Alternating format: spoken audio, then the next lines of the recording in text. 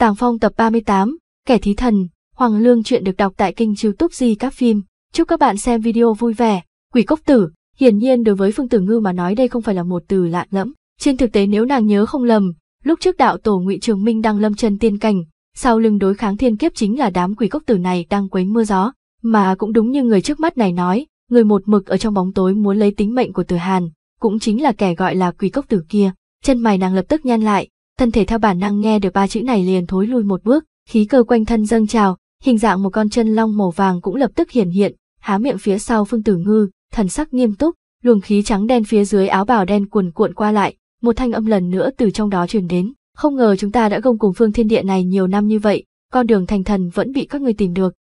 Phương Tử Ngư cũng không có tâm tư để nghiên cứu tỉ mỉ cảm thán sâu trong lòng quỷ cốc tử, nàng chỉ triệu tập lực lượng quanh người, chuẩn bị sẵn sàng tùy thời xuất thủ, miệng mới hỏi, nếu đã như vậy, dựa cái gì ngươi cho rằng ta sẽ hợp tác với các ngươi, không phải hợp tác, là trợ giúp, quỷ cốc tử vô cùng kiên nhẫn, càng có lòng sửa đổi sai lầm trong lời nói của Phương Tử Ngư, nói xong lời này, khí tức trắng đen cuồn cuộn có chút đình trệ, dường như cũng cảm ứng được địch ý trong ánh mắt của Tử Ngư, cho nên sau khi dừng lại, y lại nói lần nữa, quả thật chúng ta đã truy sát Từ Hàn rất lâu rồi, cũng thật sự muốn gỡ bỏ tính mạng của hắn, nhưng người phải hiểu là có nhân mới có quả, trên đời này không có ân oán vô duyên vô cớ, nếu hắn chỉ là một sinh linh bình thường, chúng ta cần gì phải băn khoăn với hắn. Phương Tử Ngư phỏng đoán ý tứ trong lời nói của đối phương, miệng lại hỏi, vậy người tốt nhất nên giảng thuật cái gọi là nhân quả của mình. Ở sâu trong thế giới này phong ấn ma tộc thượng cổ, phương của bọn họ được gọi là đế quân, được đế quân dẫn dắt, đám ma tộc kia từng ngang dọc trong vạn vực tinh không, hủy diệt qua vô số thế giới giống như vùng thiên địa này, giống như người sẽ già, gỗ sẽ khô vậy,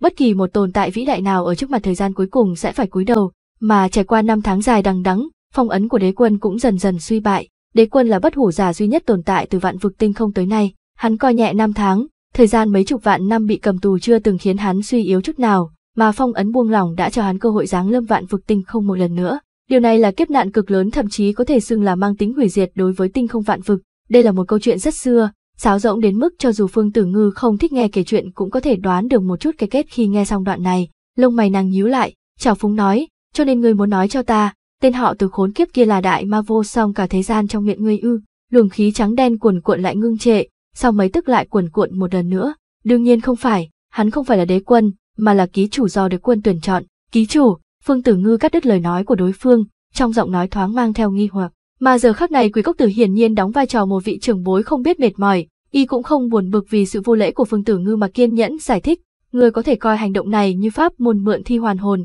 đế quân sẽ dụ dỗ hắn rơi vào bóng tối, sau đó thừa cơ xâm chiếm thân thể, thôn phệ ý chí của hắn, cuối cùng tu hú chiếm tổ chim khách, hoàn thành quá trình trọng sinh của tên kia. Lời giải thích như vậy đương nhiên cực kỳ rõ ràng, nhưng trên mặt Phương Tử Ngư lại không lộ ra vẻ hiểu rõ, ngược lại sắc mặt hiện lên giận dữ, thanh âm của nàng khi đó cao hơn vài phần, miệng chất vấn, cho nên chỉ bởi vì họ từ có khả năng bị tên đế quân kia đầu độc, các ngươi muốn hạ sát thủ đối với hắn sao? Không phải là không thể, là nhất định. Quỷ cốc tử lần nữa dùng ngữ khí không khiến người yêu thích của y sửa lại câu nói sai lầm mà Phương Tử Ngư sử dụng, đế quân là bất hủ giả duy nhất trong vạn vực tinh không. Hắn hiểu rõ tất cả thế gian này, không có ai có thể may mắn thoát khỏi sự mê hoặc của hắn cả, khác biệt duy nhất chỉ là thời gian dài ngắn mà thôi. Cách làm như vậy có lẽ không công bằng, nhưng vì bản thân chúng ta, cũng vì ngàn vạn sinh linh vạn vực tinh không, đây mới là biện pháp ổn thỏa nhất, cũng chính xác nhất. Phương Tử Ngư trầm mặc lại, nàng cúi đầu suy tư thật lâu, mãi cho đến khi gió đêm dần dần dừng lại, nàng mới lần nữa ngẩng đầu hỏi, đây chỉ là lý do thoái thác mà các người tình nguyện, nếu các người đã vì lời nói của mình mà giết Từ Hàn, vậy ta dựa vào cái gì tin tưởng, đợi một ngày nào đó các người sẽ không dùng cái cớ như vậy hủy diệt giống thế giới này. Phương Tử Ngư suy nghĩ rất nhiều, nhất là trận thiên tai long trời lở đất mấy tháng trước kia, nàng không cách nào biết được rốt cuộc đã xảy ra chuyện gì, nhưng nàng lại không thể buông bỏ cảnh giác, nói không chừng tai họa khi trời sụp đất nứt kia có thể có thứ gì đó cổ quái phát sinh ngay trước mắt. Dù sao từ cuộc nói chuyện ít ỏi của đối phương, Phương Tử Ngư liền ngửi thấy một mùi vị rất giống đám người từng ở thiên sách phủ, vì đạt được mục đích mà không từ thủ đoạn. Đương nhiên người có thể hoài nghi, trên thực tế kế hoạch này cũng trong phạm vi mà chúng ta cân nhắc, nhưng trong tình huống còn có cơ hội xoay chuyển thì chúng ta cũng không làm như thế. Chẳng qua điều này quyết định bởi thái độ của ngươi. Trong luồng khí trắng đen lại vang lên thanh âm trầm thấp, y cực kỳ thản nhiên thừa nhận phỏng đoán của Phương Tử Ngư, đồng thời cũng lộ vẻ uy hiếp ra bên ngoài. Thái độ mềm cứng như vậy chọc trúng nhược điểm của Phương Tử Ngư, đương nhiên vẫn còn hoài nghi đối phương, nhưng Phương Tử Ngư đã quen với bất cứ chuyện gì cũng có người che gió chắn nuôi cho nàng. Từ khi một mình gánh vác trọng trách như vậy tới nay, tuy nàng cực lực biểu hiện bình tĩnh, nhưng sâu trong nội tâm lại tràn ngập sợ hãi cùng bất an, nàng sợ phá nát tất cả những thứ này, Bởi vậy khi lựa chọn như thế hiển hiện trước mặt nàng, nàng không thể tránh khỏi có chút do dự, cũng không tránh khỏi tay chân lúng túng. Làm cách nào để ta tin tất cả những lời ngươi nói đều là sự thật? Phương Tử Ngư sau mấy hơi thở trầm mặc hỏi, kỳ thật đã nói đến tình trạng này, trong lòng đám quỷ cốc tử cũng dễ dàng thấy được Phương Tử Ngư bây giờ đã bị bọn họ thuyết phục, mà điều bọn họ cần làm hiện giờ chỉ là tăng thêm vốn liếng cuối cùng là có thể triệt để kéo quân cờ nào vào trận doanh của mình. Thật và giả cũng không phải là chúng ta nói cho ngươi nghe, mà là chính ngươi đi xem và phân biệt, mà nếu ta còn đang thất thố, có lẽ ngươi đã thấy chân tướng rồi. Hả? Phương Tử Ngư nghe vậy sững sờ, nhưng ngay sau đó con ngươi của nàng đột nhiên phóng đại, nàng nhớ lại bóng người đang ngồi trên ngai vàng trong trường vũ quan, nàng như đã minh bạch điều gì đó, lúc đó mới lẩm bẩm, người nói là. Nhưng nàng còn chưa kịp nói hết lời, liền bị quỷ cốc tử cắt ngang, không sai, người nhìn thấy không phải ảo giác do bí pháp hóa thành. Hắn chính là Từ Hàn, Từ Hàn bị đế quân cắn nuốt. Trung tâm của thập vạn đại sơn, trên đỉnh tứ đế sơn, nhân vật đầu não của yêu tộc hiện tại đều tề tụ ở đây, từ một loại cân nhắc nào đó, 19 cũng rất là may mắn tham dự vào cuộc đối thoại của cao tầng như vậy. Tại sao bọn hắn còn chưa tỉnh lại? Huyền Nhi mặc một bộ trang phục màu đen, đang nhìn thân hình mọi người trôi nổi trên tứ đế sơn, cao mày hỏi, đã cách trận đại chiến kia 8 tháng, Quảng Lâm Quỷ từng nói bọn họ có thể sống lại, sau đó gã thi triển một bí pháp, khiến trong cơ thể mọi người rõ ràng ngại tràn ra sinh cơ. Huyền Nhi có thể cảm giác rõ ràng tiếng tim đập mạnh từ những thi thể kia truyền tới, nhưng sau đó, tiến triển phục sinh đám người liền lâm vào bế tắc, nhục thể của bọn họ còn sống, nhưng lại không có bất kỳ dấu hiệu thức tỉnh lại. Đối mặt với câu hỏi như vậy, Quảng Lâm Quỷ đương nhiên phải đáp lại, nhưng nhìn ra được giờ phút này gã cũng đang nghi hoặc, gã cao mày đảo qua trên thân thể từng người một, sau đó nói, Bần Tăng cũng lần đầu tiên sử dụng pháp môn này, đại đa số đường nét trong đó đều là thôi diễn mà đến, có thể hữu hiệu hay không Bần Tăng cũng nói không rõ ràng. Nhưng xem tình trạng của bọn họ lúc này, thì tác dụng của đại bộ phận trong đó không chênh lệch nhiều so với dự đoán, nhưng vì sao bọn họ còn chưa hoàn toàn thức tỉnh, ta nghĩ.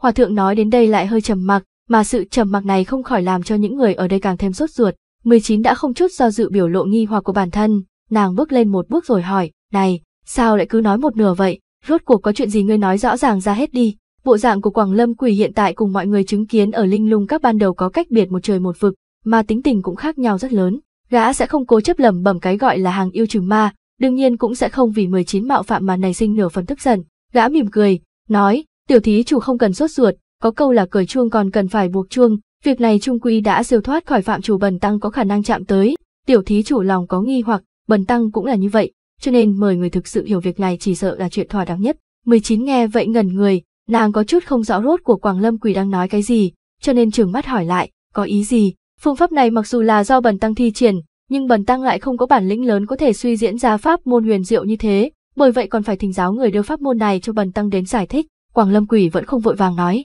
không phải ngươi, 19 nhíu mày, có lẽ là không ngờ Quảng Lâm Quỷ sẽ cho một lý do như vậy, vậy là ai? Mà Quảng Lâm Quỷ đối mặt với câu hỏi như vậy lại trầm mặc không nói, chỉ quay đầu nhìn về một nơi nào đó trong đám người, sau đó ánh mắt dừng lại trước một chỗ, bất kể là người hay yêu ở đây đều theo ánh mắt của Quảng Lâm Quỷ nhìn lại, sau đó ánh mắt bọn họ không hẹn mà cùng rơi vào trên thân vị lão nhân đồ đen đến phía sau 19. Chu Uyên, không đúng, hẳn là 18, có lẽ là sau khi nhìn rõ bộ dáng của lão nhân kia, đây là phản ứng đầu tiên trong lòng mọi người. Người nói là pháp môn này là hắn dạy cho ngươi. Huyền Nhi phản ứng đầu tiên, nàng trao mày nhìn về phía Quảng Lâm Quỷ, mà người sau cũng không chút do dự gật đầu. Huyền Nhi nhíu mày càng sâu hơn, trên người lão nhân trước mắt này ẩn chứa cổ quái, điểm này ngay cả Huyền Nhi cũng không nghi ngờ. Từ cái tên cổ quái, hành tung cổ quái, cùng các loại cách làm cổ quái, Huyền Nhi đều đã nhận ra điểm này, chỉ là trải qua trận thiên tai kia, đáy lòng của nàng có quá nhiều bi thương, trên người lại có quá nhiều trọng trách, thế cho nên khiến nàng không có tâm tư đi tìm hiểu kỹ càng về lão nhân trước mắt này.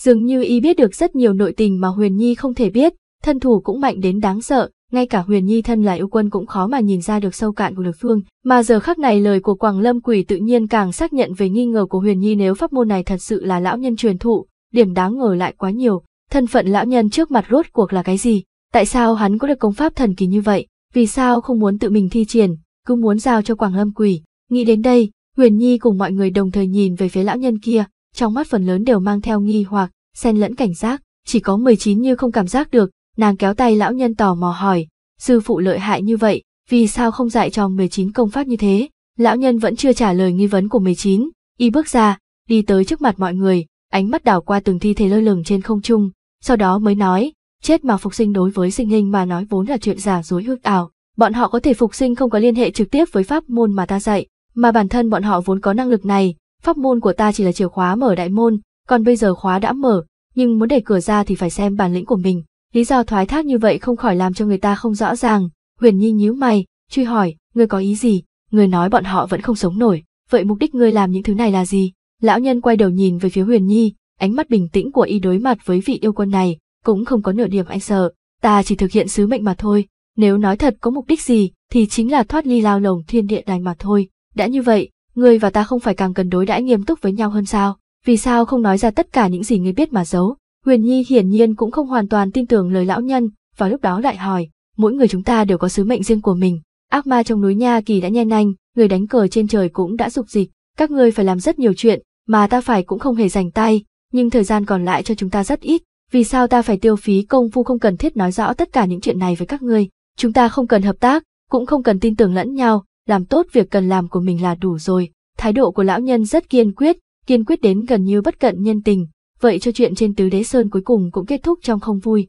Sau khi tất cả mọi người rời đi, 19 hoang mang nhìn về phía lão nhân, hỏi, sư phụ, bọn họ đều là bằng hữu của chúng ta, đệ tử biết sư phụ có lẽ có nỗi khổ riêng, nhưng vì sao không nói rõ? Nghe thấy câu hỏi này, lão nhân cúi đầu nhìn cô bé đang ngẩng đầu nhìn mình, mỉm cười, y đưa tay sờ sờ đầu đối phương, nói, ngươi có biết vì sao ta không cho ngươi tiếp xúc với đứa nhỏ tô ra kia không? 19 lắc đầu, không giống các ngươi, bọn họ là người nên được cứu vớt trong kế hoạch dài dằng dặc này, mà ta và ngươi lại là người bị vứt bỏ, ngươi có liên hệ với rất nhiều người khác, khi khoảnh khắc đó đến ngươi lại càng chần chờ, mà dù một tơ một hào do dự đi nữa, cũng có khả năng chôn vùi tất cả cố gắng chúng ta chờ đợi từ trước tới nay. Nghi hoặc trong con ngươi 19 càng sâu, nàng không biết kế hoạch lão nhân nói là gì, nhưng từ trong lời nói này cảm nhận được có một số thứ cực kỳ tàn nhẫn bị ép buộc ở trên người nàng, nàng không khỏi hỏi, vậy chúng ta là gì? Lão nhân trầm mặc một lúc, sau đó ngẩng đầu nhìn về phía chân trời, dùng thanh âm trầm trọng nói, thí thần giả, kẻ giết thần non xanh nước biếc, rừng trúc vờn quanh. Từ Hàn đang mặc áo trắng lần nữa xuất hiện ở giữa vùng trời đất này, gã cất bước đi về gian nhà tranh dưới chân núi. Bước chân của gã rất nhanh, cũng có chút trầm trọng, gã trong mày, cơ bắp trên mặt mơ hồ hơi run rẩy, giống như đang cố gắng kiềm chế một số tâm tình nào đó trong lòng mình. Gã đẩy cửa hàng rào, mèo đen và chó đen trong sân rừng đùa nghịch một hồi, đồng loạt quay đầu nhìn gã. Trong ánh mắt chúng không còn là cảnh giác và sợ hãi như từ Hàn kia đến lần trước nữa, mà đã nhiều thêm một chút nghi hoặc. Nhưng từ Hàn áo trắng vốn đầy bụng tâm sự cũng không chú ý tới biến hóa rất nhỏ của hai gia hoàn này, đã đi thẳng tới trước cửa nhà tranh, không nói lời nào chỉ lạnh lùng nhìn chăm chăm vào cửa phòng, mà người trong cửa dường như cũng thật sự cảm nhận được sự tồn tại của gã. Sau mấy hơi thở, bên trong liền truyền đến tiếng vang, đế quân thanh nhàn hay sao, lại rảnh rỗi đến hàn xá của ta. Cửa phòng chậm rãi mở ra theo thanh âm của người trong phòng, từ hàn mặc một bộ quần áo màu trắng cũng đang từ trong phòng bước ra, cười khanh khách nhìn vào khách đến. Đế quân nhíu nhíu mày, trước kia tuy từ hàn không nói rõ, nhưng bất kể giả bộ trên khuôn mặt hay thần sắc nói chuyện với hắn thường ngày, đế quân đều có thể cảm nhận được ý đồ của hắn khi muốn bảo trì sự khác biệt nào đó với mình. Mà giờ phút này từ hàn mặc một bộ áo trắng, vẻ mặt bình tĩnh lại mang theo một chút nhàn nhã khiến cho đế quân không khỏi sinh ra một loại ảo giác đối với thân phận của mình và đối phương. Hiển nhiên điều này cũng không phải là một loại cảm thụ quá tốt. Lần trước uống xong trà, ta còn chưa kịp lên núi hái, hôm nay cũng chỉ có thể dùng nước trong thay trà vậy. Từ Hàn dường như cũng không cảm nhận được tâm tình cuồn cuộn trong lòng đế quân, hắn cười híp mắt ngồi xuống cạnh bàn đá trong sân, lại lấy ra ấm trà đã sớm bày sẵn trên bàn, tự rót đầy một chén nước trong cho đế quân và mình, sau đó mới mỉm cười đưa tay với đối phương, nói, ngồi ngồi, chân mày đế quân nhíu chặt hơn một chút, nhưng vẫn ngồi đối diện với Từ Hàn trầm ngâm mấy phút, sau đó gã bưng chén đặt bên miệng khẽ nhấp, nói, người biết rõ tất cả mọi chuyện trong thế giới này chỉ là ảo ảnh, đừng nói chỉ là lá trà, dù là ngôi sao trên trời, ý niệm trong đầu ngươi vừa động cũng là từ tâm xua tan đêm tối, hà tất phải ở chỗ này ăn nói bậy bạ với ta, chẳng lẽ ngươi cho rằng bản tôn chơi trò đứa bé ba tuổi cùng ngươi ở chỗ này, đế quân đặt ta ở trong huyễn cảnh này không phải là để mài mòn tâm trí của ta sao, để ta trầm mê trong đó, sau khi tại hạ thật sự làm như vậy, đế quân ngược lại không vui, từ hàn cũng bưng chén trà lên uống một chút, sau đó cười hỏi ngược lại, đế quân không nói gì, chỉ nhìn chăm chăm từ hàn, sau một hồi lâu mới lần nữa nói, có đôi khi ta thật sự cảm thấy, ngươi càng thêm đáng sợ so với đám quỷ khốc tử ở thiên ngoại kia, đế quân nói đùa rồi, từ mỗ bây giờ cũng chỉ là tù nhân của đế quân, nào so được với những đại nhân vật tính toán thông thiên kia. Từ Hàn đáp, đế quân biết với tâm tính của Từ Hàn giờ phút này, gã sẽ rất khó moi ra được thứ gì mình muốn biết từ miệng đối phương, cho nên gã cũng không muốn tiếp tục dây dưa với hắn nữa, mà trực tiếp dứt khoát tiến vào đề tài chính, dựa theo ước định của chúng ta mấy ngày nay, ta đã dừng việc thẩm thấu thế giới này, mà hôm qua, ta lại ngửi thấy mùi của đám quỷ cốc tử làm ta buồn nôn, ta nghĩ bọn chúng đã tìm được thế giới này lần nữa, vậy kế hoạch của ngươi thì sao? Tay từ hàn nâng chén hơi ngưng lại giữa không trung, nhưng sắc mặt vẫn không thay đổi như trước, tính ra cũng phải mất 8 tháng, thời gian so với tưởng tượng của ta vẫn ngắn hơn một chút, sau đó thì sao, rốt cuộc tính toán của ngươi là gì, ngươi cũng đừng quên, một khi đám quỷ cốc tử kia thật sự xâm lấn thế giới này, ta sẽ phải chết, các ngươi cũng không sống nổi. Hai đầu mày đế quân như có sát khí vờn quanh, so với Từ Hàn bình tĩnh, dáng vẻ của gã lúc này có chút tức giận. Đế quân bị nhốt mấy chục vạn năm, thời gian dài như vậy còn chịu đựng được, sao đến lúc này lại tự loạn trận cước thế nhỉ? Từ Hàn híp mắt quan sát nam nhân bộ dạng giống hắn trước mắt, thậm chí ngay cả quần áo cũng không khác mấy, trong miệng ý vị thâm trường hỏi, hay là đế quân sợ cái gì? Cơ thịt trên mặt đế quân co giật, bàn tay siết chặt chén nước, đốt ngón tay trắng bệch, ngươi biết đám quỷ cốc tử kia tìm tới ai không? Chính là tên bán thần mà ngươi tạo ra kia, bọn chúng đang dạy cho tên bán thần nợ cách trở thành thần chân chính của vùng thiên địa này, mà một khi bọn chúng làm được điểm này, lại dùng kế mê hoặc, tên bán thần kia rất có thể sẽ đổ về phía bọn chúng. Đế quân cũng đã nói, Tử Ngư chẳng qua chỉ là một bán thần được tạo ra, cái gọi là thần lực của nàng cũng chỉ có thể tỏ ra uy phong ở phương thiên địa này, đế quân sợ nàng làm gì, nụ cười trên mặt từ hàn càng sâu, mà không biết vì sao lời này lại chọc giận đến tâm thần cực kỳ mẫn cảm của đế quân, sát khí giữa hai đầu lông mày gã vào lúc đó căn bản khó có thể ngăn chặn nhộn nhạo ra, sau đó gã vỗ bàn đá,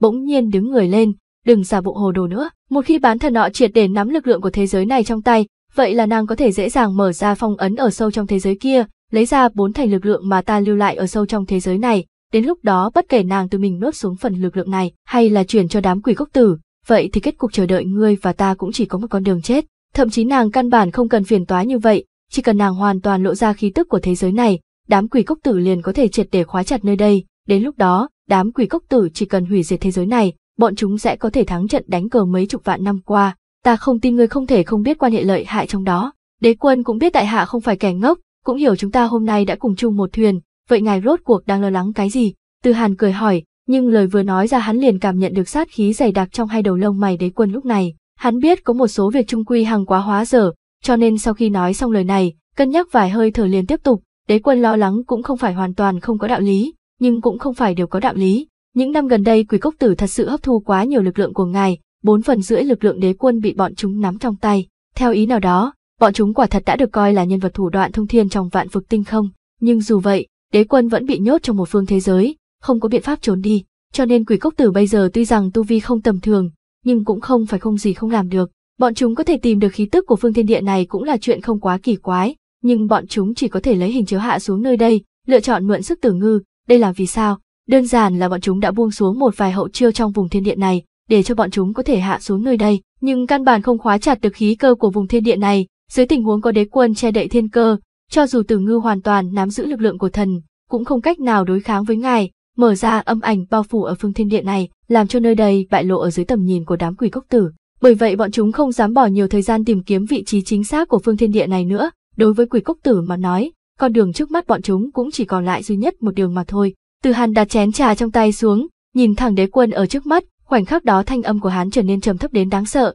chính là dụ hoặc Phương Tử Ngư mở ra phong ấn ở sâu trong thế giới kia để lấy ra lực lượng của đế quân. Mà cái này không phải việc chúng ta cần làm sao, nếu đám quỷ cốc tử đã đồng ý làm thay, chúng ta cần gì vội vã ra tay. Nét mặt đế quân biến hóa, gã vẫn nhíu mày như cũ, tựa như đang suy nghĩ điều gì, miệng lẩm bẩm, vậy ngươi làm sao cam đoan bốn thành lực lượng kia sẽ rơi vào trong tay chúng ta? Một khi bọn chúng phá vỡ phong ấn kia, bốn phần lực lượng của đế quân nhất định sẽ dũng động ở trong thế giới này. Có câu là làm quan hưởng lộc vua, ở chùa ăn lộc Phật, chúng ta thân ở trong thế giới này sẽ nắm quyền chủ động, mà đám quỷ cốc tử muốn thu được quyền chủ động ngang hàng với chúng ta, vậy cần trả một cái giá lớn. Đế quân nghe tới chỗ này, tuy rằng gã không muốn nhưng không thể không thừa nhận, gã càng không nhìn thấu được từ hàn trước mắt, cho nên không thể không hỏi lần nữa, trả giá như thế nào. Đồng hóa phương tử ngư, sắc mặt từ hàn lạnh như băng nói ra lời này, đế quân có thể khiến cho đám người chu trương và mục cực hoàn toàn trở thành nô bộc của ngài, cũng bởi vì trong lực lượng của đế quân mang theo sức mạnh cường đại mê hoặc, có thể triệt để khiến người ta dưới tình huống không biết mất đi thần trí của mình, trở thành nô bộc của ngài,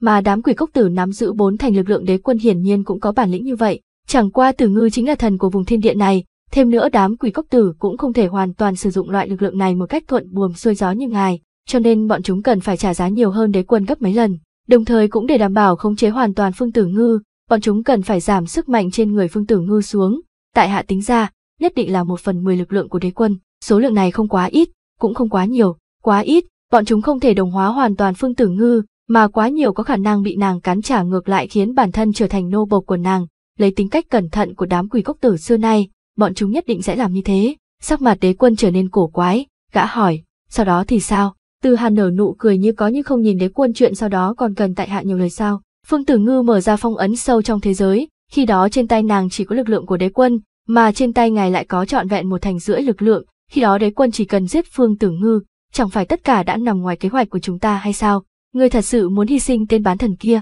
Kế hoạch này có trình độ tỉ mỉ vượt xa dự liệu của đế quân, mà so với tỉ mỉ, điều càng khiến gã khó đoán được chính là sự tàn nhẫn của nó. Ít nhất với sự hiểu biết của gã về Từ Hàn, gã rất khó tưởng tượng nam nhân trước mắt này lại nghĩ ra độc kế có thể áp dụng như vậy. Từ Hàn đứng lên, con mèo đen cực kỳ nhu thuận nhảy vào trong ngực của hắn, hắn ôm lấy nó, đi qua đi lại trước mặt đế quân, đồ vật mà ta có thể tính ra, đám quỷ cốc tử đương nhiên cũng không ngoại lệ, nhưng đế quân có biết tại sao bọn chúng nguyện ý mạo hiểm như vậy không? Từ Hàn hỏi xong câu này, đế quân hơi sững sờ, nhưng còn chưa đợi gã trả lời, hắn đã đưa ra đáp án, bởi vì bọn chúng cũng nhìn từ mỗi trọn vẹn 19 lần giống đế quân. Bọn chúng cho rằng với tính tình của ta nhất định sẽ không trơ mắt để phương tử ngư chết trên tay ngài, đợi đến khi đế quân ra tay, ta nhất định sẽ nghĩ biện pháp tranh đoạt quyền lực khống chế thân thể này với đế quân, mà khi đó, đế quân cũng chỉ có thể phát huy ra một thành rưỡi lực lượng kia mà thôi, làm sao có thể ngăn cản bọn chúng làm việc, cho nên, đế quân tuyệt đối đừng phạm sai lầm giống quỷ cốc tử. Đế quân ngạc nhiên, vẻ mặt cổ quái nhìn chằm chằm từ hàn một lúc lâu,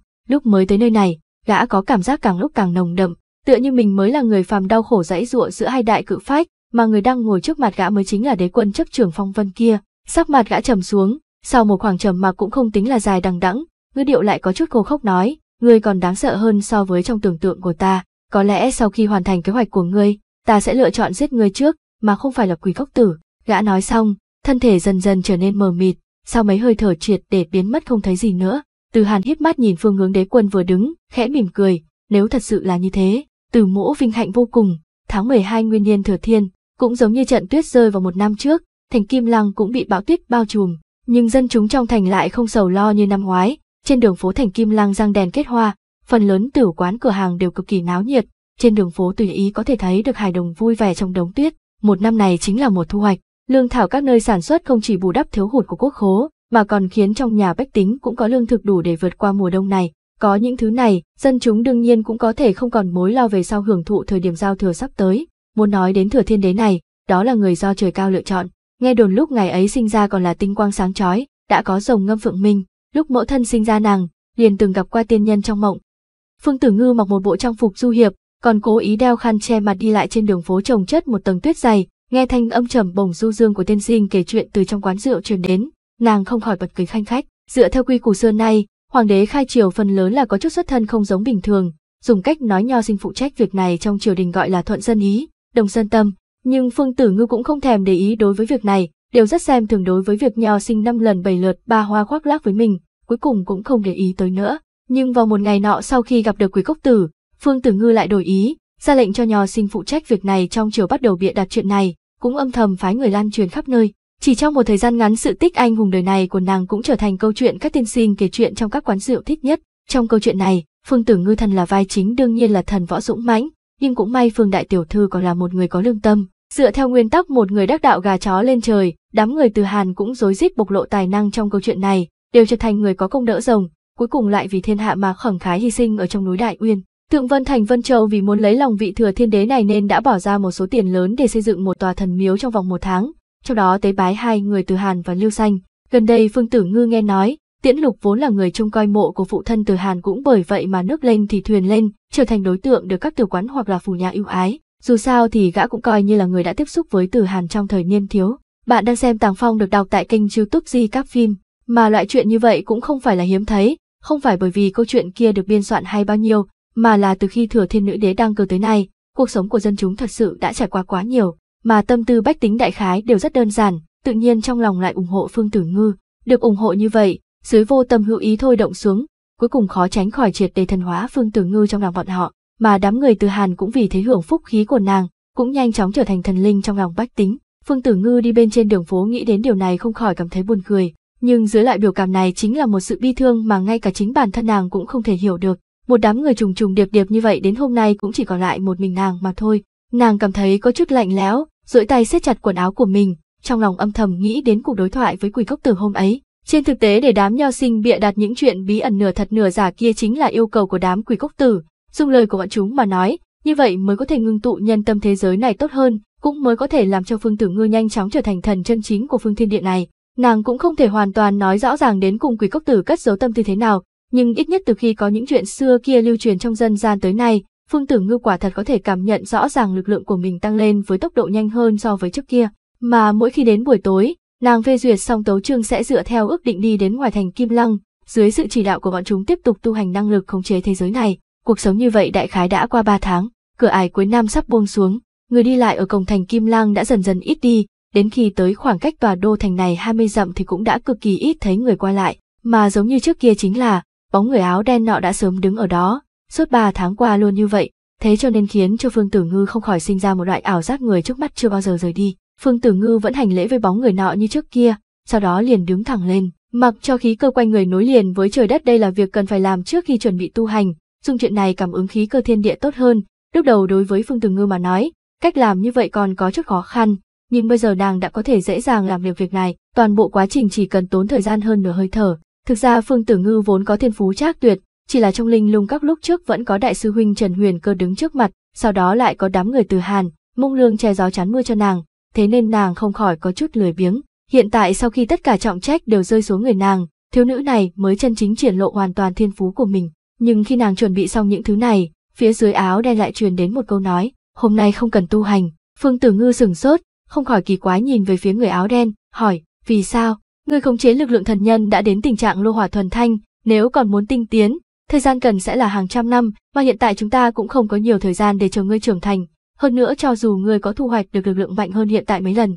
tác dụng trong ván cờ này cũng cực kỳ bé nhỏ. Người áo bào đen kia chậm rãi nói, trong giọng điệu không thiếu ý khinh thường đối với Phương Tử Ngư. Nếu là lúc trước, Phương Đại Tiểu Thư bị người ta quở trách như thế sẽ không tránh khỏi trong bụng nhen lên lửa giận, nhất định phải lý luận với tên quỷ cốc tử này một phen. Nhưng bây giờ nàng đã trưởng thành rất nhiều, nghe xong những lời này cũng chỉ im lặng gật đầu, nàng rất rõ ràng về hoàn cảnh của mình. Bất luận quỷ cốc tử nói hay đến mức nào, Phương Tử Ngư cũng hiểu mình chỉ là quân cờ trong ván cờ của hai con quái vật khổng lồ mà thôi, chỉ có thể làm tốt công việc làm của quân cờ này, nàng mới có thể mưu được một chút sinh cơ cho thiên địa của mình ở trong khe hở này. Vậy bây giờ ta phải làm gì? Vì thế nàng thản nhiên hỏi, ác thần thời thượng cổ đã rời khỏi lồng giam, nhưng phần lớn lực lượng của hắn vẫn bị phong ấn ở sâu trong thế giới này. Một khi hắn thu được phần lực lượng kia, vậy cho dù là chúng ta cũng khó có thể đối địch với hắn. Sở dĩ chúng ta giúp đỡ người trở thành thần của thế giới này, chính là bởi vì thân là thần, người sẽ có năng lực điều khiển phương thiên điện nơi đây, cũng có thể phá vỡ tầng tầng phong ấn đi tới lực lượng ở chỗ sâu trong thế giới kia. Giọng nói của quỷ cốc tử vang lên,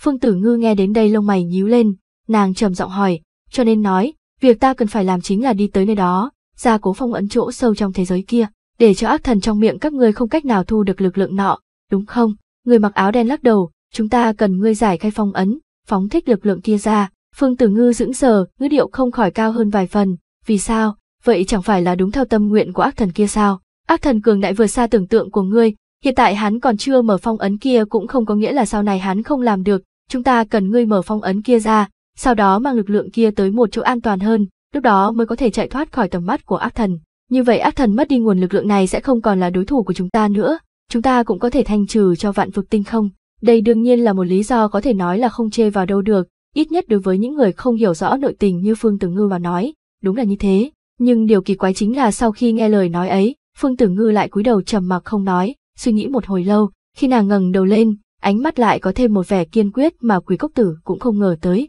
Không đúng, nàng nói như vậy, nếu đúng như lời ngươi nói, các ngươi muốn giết ác thần kia, vậy trước khi thế giới này còn chưa bị ác thần che lấp, các ngươi có thể buông xuống tới thế giới này, điều các người cần làm không phải là giết chết Tử Hàn, mà là để hắn dẫn ác thần nhập vào trong người, sau đó các người lại giết chết hắn. Các người căn bản là cũng giống như ác thần kia, mong muốn chính là lực lượng sâu trong thế giới này. Lời nói của Phương Tử Ngư hiển nhiên vượt quá dự đoán của Quỷ Cốc Tử, thế cho nên bọn chúng vốn đối đáp như nước đối với bất cứ nghi hoặc gì của nàng, trong nháy mắt lại rơi vào trầm mặc hiếm thấy, mà thân thể Phương Tử Ngư cũng lập tức thối lui một bước, giữa hai đầu lông mày lần nữa nổi lên cảnh giác cùng địch ý. Ai? Sau đó không đợi Phương Tử Ngư đặt câu hỏi lần nữa, một tiếng thở dài kéo dài liền từ phía dưới áo đen truyền đến vốn muốn cho người hết đi hy vọng, hiện tại xem ra cũng chỉ có thể khiến người lâm vào tuyệt vọng rồi, con người có đôi khi quá thông minh cũng không phải chuyện tốt, thanh âm kia vừa dứt, từng đạo khí tức màu đen đột nhiên tuôn ra từ dưới áo choàng đen kia, chúng nó giống như rắn độc, dùng tốc độ nhanh kinh người đi tới trước mặt Phương Tử Ngư, tới tứ chi cùng với đầu của nàng. Mặc dù đã sớm cảnh giác gọi ra long tướng màu vàng trong cơ thể mình, nhưng dưới rắn độc do khí tức màu đen ngưng tụ thành kia cũng không có chút sức phản kháng nào, chỉ tiếp xúc trong chốc lát liền sụp đổ ngay lập tức, mà thân thể Phương Tử Ngư rất nhanh bị những khí tức màu đen này bao phủ, nàng lập tức không thể động đậy, dù là pháp môn vạn vạo không gian vốn am hiểu nhất cũng không cách nào thi triển. Tiếng kêu rên thống khổ từ trong hắc khí không ngừng truyền đến, từ cao vút dần dần trở nên suy yếu, cuối cùng lại quy về tịch diệt. Sau trăm hơi thở, những khí tức màu đen kia thu liễm mãnh liệt chui vào thể nội Phương Tử Ngư, thiếu nữ nhắm chặt hai con ngươi lần nữa mở mắt ra, trong mắt nàng chỉ còn lại một màu đen kịt, chợt nàng quỳ một gối xuống phía người áo đen, miệng nói, bái kiến cốc chủ đại nhân, thập vạn đại sơn đã lâu lắm rồi không có tuyết rơi, hồ yêu bạch ngưng mặc một bộ áo trắng bộ dáng tuấn mỹ như nữ tử đi đến đỉnh tứ đế sơn, ngửa đầu nhìn tuyết trắng từ chân trời rơi xuống, miệng thì thào nói, 19 ngẩng đầu nhìn đối phương một cái, tò mò hỏi, vì sao, được cất giữ trong một hộp gỗ nho nhỏ, sống tạm coi như không tệ, làm gì còn có hy vọng xa vời bốn mùa giao thế gì chứ, cũng không đợi yêu vương tự mình đáp lại câu hỏi này, 18 mặc áo đen bên cạnh liền buồn bã nói, bạch ngưng nhíu mày, có chút không thích nhìn lão nhân kia, trầm giọng nói, ngươi dường như hiểu rõ hết thảy chuyện này, bên trong giọng nói kia không thiếu ý chất vấn, sống lâu rồi, đương nhiên sẽ thấy được nhiều, biết tốt cũng không có gì là lạ, lão nhân lại nhẹ nhàng đáp, cũng không có nửa điểm bối rối hay là tức giận, mấy ngày trước đây, sau khi tranh luận chuyện đám người Diệp Hồng Tiên vẫn chưa thức tỉnh thì quan hệ giữa lão và mọi người trong thập vạn Đại Sơn bỗng trở nên cổ quái, cùng nói chuyện giữa hai bên thỉnh thoảng có mùi thuốc súng, đến 19 cũng có thể cảm nhận được rõ ràng, bởi vậy khi nghe được câu nói kia, 19 không khỏi có chút lo lắng nhìn sư phụ của mình và vị yêu vương áo trắng kia một cái. Thật sao? Bổn tôn từ 800 năm trước tu thành yêu vương, trước khi chư vị yêu quân quay về, bọn họ chính là chúng yêu dưới trướng bổn tôn, sinh sản phồn diễn trong thiên địa. Bổn tôn cũng muốn hỏi các hạ năm nay bao nhiêu tuổi. Bạch ngưng nheo mắt, nhìn chăm chăm vào lão nhân, nhưng khí thế bức nhân như vậy lại không khiến cho lão nhân sinh có nửa phần khó chịu, lão chỉ là quay đầu thản nhiên liếc mắt nhìn đối phương, miệng liền nói, không phải vị đạo tổ kia đã nói rồi sao, có người sống mấy trăm năm, lại dậm chân tại chỗ, có đôi khi tuổi tác tất nhiên trọng yếu, nhưng so với ngàn vạn năm khô tọa ở một góc, ta lưu lạc cõi phàm mấy chục vạn năm cũng chưa chắc đã ít hơn những gì các hạ biết, huống hồ. Lão nhân nói tới chỗ này còn cố ý dừng lại một chút, trong khe mắt híp lại chớp động lên tia giảo hoạt, dường như rất thích thú với việc trên khuôn mặt bạch ngưng lúc này dần dần dâng lên vẻ tức giận gần như khó che giấu được, ta sống đã lâu, so với ngươi chỉ cao không thấp, nói đến, ngươi dù gọi ta một tiếng thái gia gia, cũng còn kém bối phận mấy chục đời. Bạch Ngưng đương nhiên sẽ không tin trên đời này thật sự có người có thể sống đến tuổi như vậy, mà so với thật giả trong chuyện này, điều càng làm cho gã tức giận là vẻ trào phúng trong giọng điệu ngả ngớn của lão nhân. Khoảnh khắc đó hắn không kìm nổi tức giận bên trong lòng mình, yêu khí bàng bạc đã sắp phá thể mà ra. Được rồi, được rồi, mắt thấy cục diện sắp tới bờ xung đột, sở cư lý đã sớm ở bên cạnh vội vàng đi tới giữa hai người, vẻ mặt tươi cười nói, hai vị, chúng ta tới đây thương nghị đại sự, đừng hành động theo cảm tính, đừng hành động theo cảm tính. Lão nhân nhìn thẳng vào yêu vương, ánh mắt bình tĩnh, mắt điếc tai ngơ với câu nói của sở cửu ly, mà yêu vương kia thì lại trao mày, nhìn chăm chăm lão nhân hồi lâu, sau đó hai tay siết chặt kia rốt cuộc chậm rãi buông ra, gã hừ lạnh một tiếng, lúc này mới đè nộ khí trong lòng xuống, quay người qua, một trận nội chiến bị bóp chết trong trứng nước, đám người huyền nhi còn chưa tới, trên đỉnh núi xuống này không khỏi lâm vào trong bầu không khí yên lặng lúng túng, dù là sở cửu ly trong thời gian ngắn cũng không cảm thấy thoải mái nửa phần. Sư phụ, ngược lại 19 cực kỳ lo lắng nhìn sư phụ nhà mình, kéo ống tay áo của lão nhỏ giọng hỏi, sao sư phụ cứ như vậy, thật ra bọn họ cũng không có ác ý, rất nhiều lúc đều là bọn họ chăm sóc đệ tử. Lão nhân nghe vậy ngoái lại nhìn đồ như nhà mình, đôi mắt đối phương vẫn lấp lánh sáng ngời như sao đêm, khiến lão nhân xưa nay sắc mặt lạnh như băng, khóe miệng cũng không kìm được trào ra một nụ cười. Lão sờ sờ đầu cô bé, trầm giọng nói, có lúc khi làm một người tốt, không phải là vì hắn đối đãi như thế nào, người tốt thật sự là muốn để người thân mình rời xa chuyện không nên tham dự, tượng như. Nói tới đây, lão nhân chẳng biết tại sao chợt lâm vào trầm mặc, 19 cũng không phải là một đứa bé hiểu được điểm dừng, nàng mang vẻ mặt nghi hoặc truy vấn, giống như cái gì. Lão nhân lúc này tựa như mới hồi phục tinh thần, lão dương mắt nhìn về phía thân thể vẫn lơ lửng xung quanh đỉnh núi Tứ Đế Sơn, ánh mắt trở nên thâm thúy hơn vài phần. Lão U Hàn nói, giống như, từ Hàn vậy. Khoảng cách một lần trước đã qua nửa tháng, nhân vật đầu lĩnh thập vạn đại sơn tề tụ tại đỉnh núi của tứ đế lần nữa, mà so với lần trước, thân xác của những người tụ tập ở đây rõ ràng càng thêm ngưng trọng. Quỷ cốc tử hàng lâm vào vùng thiên địa này lần nữa, điều này mang ý nghĩa bình chướng từ hàn liều mạng để tạo ra cho thế giới này đã bắt đầu xuất hiện sơ hở, chúng ta phải chuẩn bị vẹn toàn. Huyền Nhi trước tiên phá vỡ bầu không khí hơi trầm trọng trên tứ đế sơn. Ngay hôm qua, mấy vị yêu quân cảm nhận được khí tức quỷ cốc tử xuất hiện ở trong phương thiên địa này, nhưng cỗ khí tức kia lại lóe lên một cái rồi biến mất, làm cho bọn họ khó có thể nắm bắt được cỗ khí tức kia rốt cuộc là từ nơi nào truyền đến. Quỷ cốc tử, đây không phải lần đầu tiên 19 nghe được từ này, nhưng hiểu biết của nàng đối với quỷ cốc tử rất ít, cho nên nàng nhíu mày, nghi hoặc nhìn sư phụ mình, nhỏ giọng hỏi, quỷ cốc tử là người đánh nhau với từ đại thúc ở Đại Uyên Sơn lúc trước sao? Lão nhân bên cạnh khẽ gật đầu, đám chân tiên trên trời lúc trước ở trước mặt những tên quỷ cốc tử kia đều phải khom lưng cúi đầu nghe, hôm nay lấy thực lực chúng ta muốn đối kháng, vẫn là lấy trứng thọi đá như cũ. Bạch ngưng nhíu mày, vào lúc đó mở miệng nói, Lúc trước chính là gã dẫn theo 10 vạn yêu vật trong thập vạn đại sơn giúp đỡ Ngụy Trường Minh đối kháng thiên kiếp, mà trong lòng đến nay vẫn còn sợ hãi đối với chân tiên cường đại, càng không đề cập tới đám quỷ cốc tử còn cường đại hơn xa chân tiên. Huyền Nhi không nói, chỉ cau mày, Lục Ngô, ngươi từng thân cận với đứa bé kia nhất, chuyện hắn dặn dò ngươi ngoại trừ kết nối thập vạn đại sơn với phương thiên địa này lần nữa, chẳng lẽ không có gì khác sao? Phi Liêm nhíu mày hỏi một tiếng, Huyền Nhi lắc đầu, hắn chỉ nói ta làm như vậy thôi, còn chuyện phía sau hắn nói đã tự sắp xếp. Hừ, lời này vừa nói ra, một vị nam tử cũng mặc áo trắng bước ra, người nọ chính là Hậu Khanh, một vị yêu quân khác lúc trước bị trấn áp trong trấn ma tháp, có duyên gặp mặt từ hắn một lần. Hiển nhiên gã cũng không có cảm quan quá tốt với hắn cho nên lời nói ra cũng không khách khí gì cả, thậm chí mang theo một chút đùa cợt, đường đường lại Âu quân, không đi suy xét cho con dân nhà mình, lại nghe một nhân tộc nói nhảm, hôm nay thập vạn đại sơn đã kết nối cùng vùng trời đất này, chúng ta tiến thoái lưỡng nan, thật là buồn cười. Lời gã nói tuy cực kỳ cay nghiệt, nhưng trong đó lại không thiếu đạo lý. Sau khi từ Hàn đại chiến với người ngoài thiên ngoại, đám chân tiên trong thiên địa này đã bỏ mình từ lâu, mà thế giới này dưới tính toán của hắn đã che mắt được đám người quỳ gốc tử kia, tạm thời trốn vào hư không. Lúc này bọn họ chỉ cần tập hợp lực lượng của ba đại yêu quân, chưa chắc không có cơ hội phá vỡ lao lồng thiên địa, sau đó lấy hộp gỗ làm vật dẫn, mang theo thập vạn đại sơn và cả tộc nhân trong đó thoát khỏi phương thiên địa này. Nhưng Huyền Nhi lúc đó lại khăng khăng hoàn thành việc từ Hàn giao phó, hơn nữa một vị yêu quân khác cũng đồng ý đề nghị này, hậu khanh dưới bất đắc dĩ cũng phải thỏa hiệp. Hành động này không chỉ cờ khí vận yêu tộc cho nhân tộc sắp sụp đổ, làm cho mảnh thiên địa bị phá nát này khôi phục không ít, lại làm cho thập vạn đại sơn cùng với phiến thiên địa này kết nối lại với nhau một lần nữa. Đến khi quỷ cốc tử phủ xuống, bọn họ căn bản không thể trốn vào bên trong hộp gỗ giống như trước kia được nữa. Ngươi đừng có quên, nếu không phải có tử hàn, thì thập vạn đại sơn đã sớm diệt vong cùng thế giới này từ lâu rồi. Huyền Nhi trợn tròn hai mắt, nhìn chăm chăm vào hậu khanh, trong giọng nói mang theo vẻ tức giận. Hừ, nhưng hậu khanh vẫn không chịu nể mặt, nếu không phải lúc trước ngụy Trường Minh một lòng muốn bảo toàn hắn, tự mình phá hỏng tu vi của bản thân thì yêu tộc ta đã sớm phá vỡ lồng giam rồi, làm sao đến mức ấy được,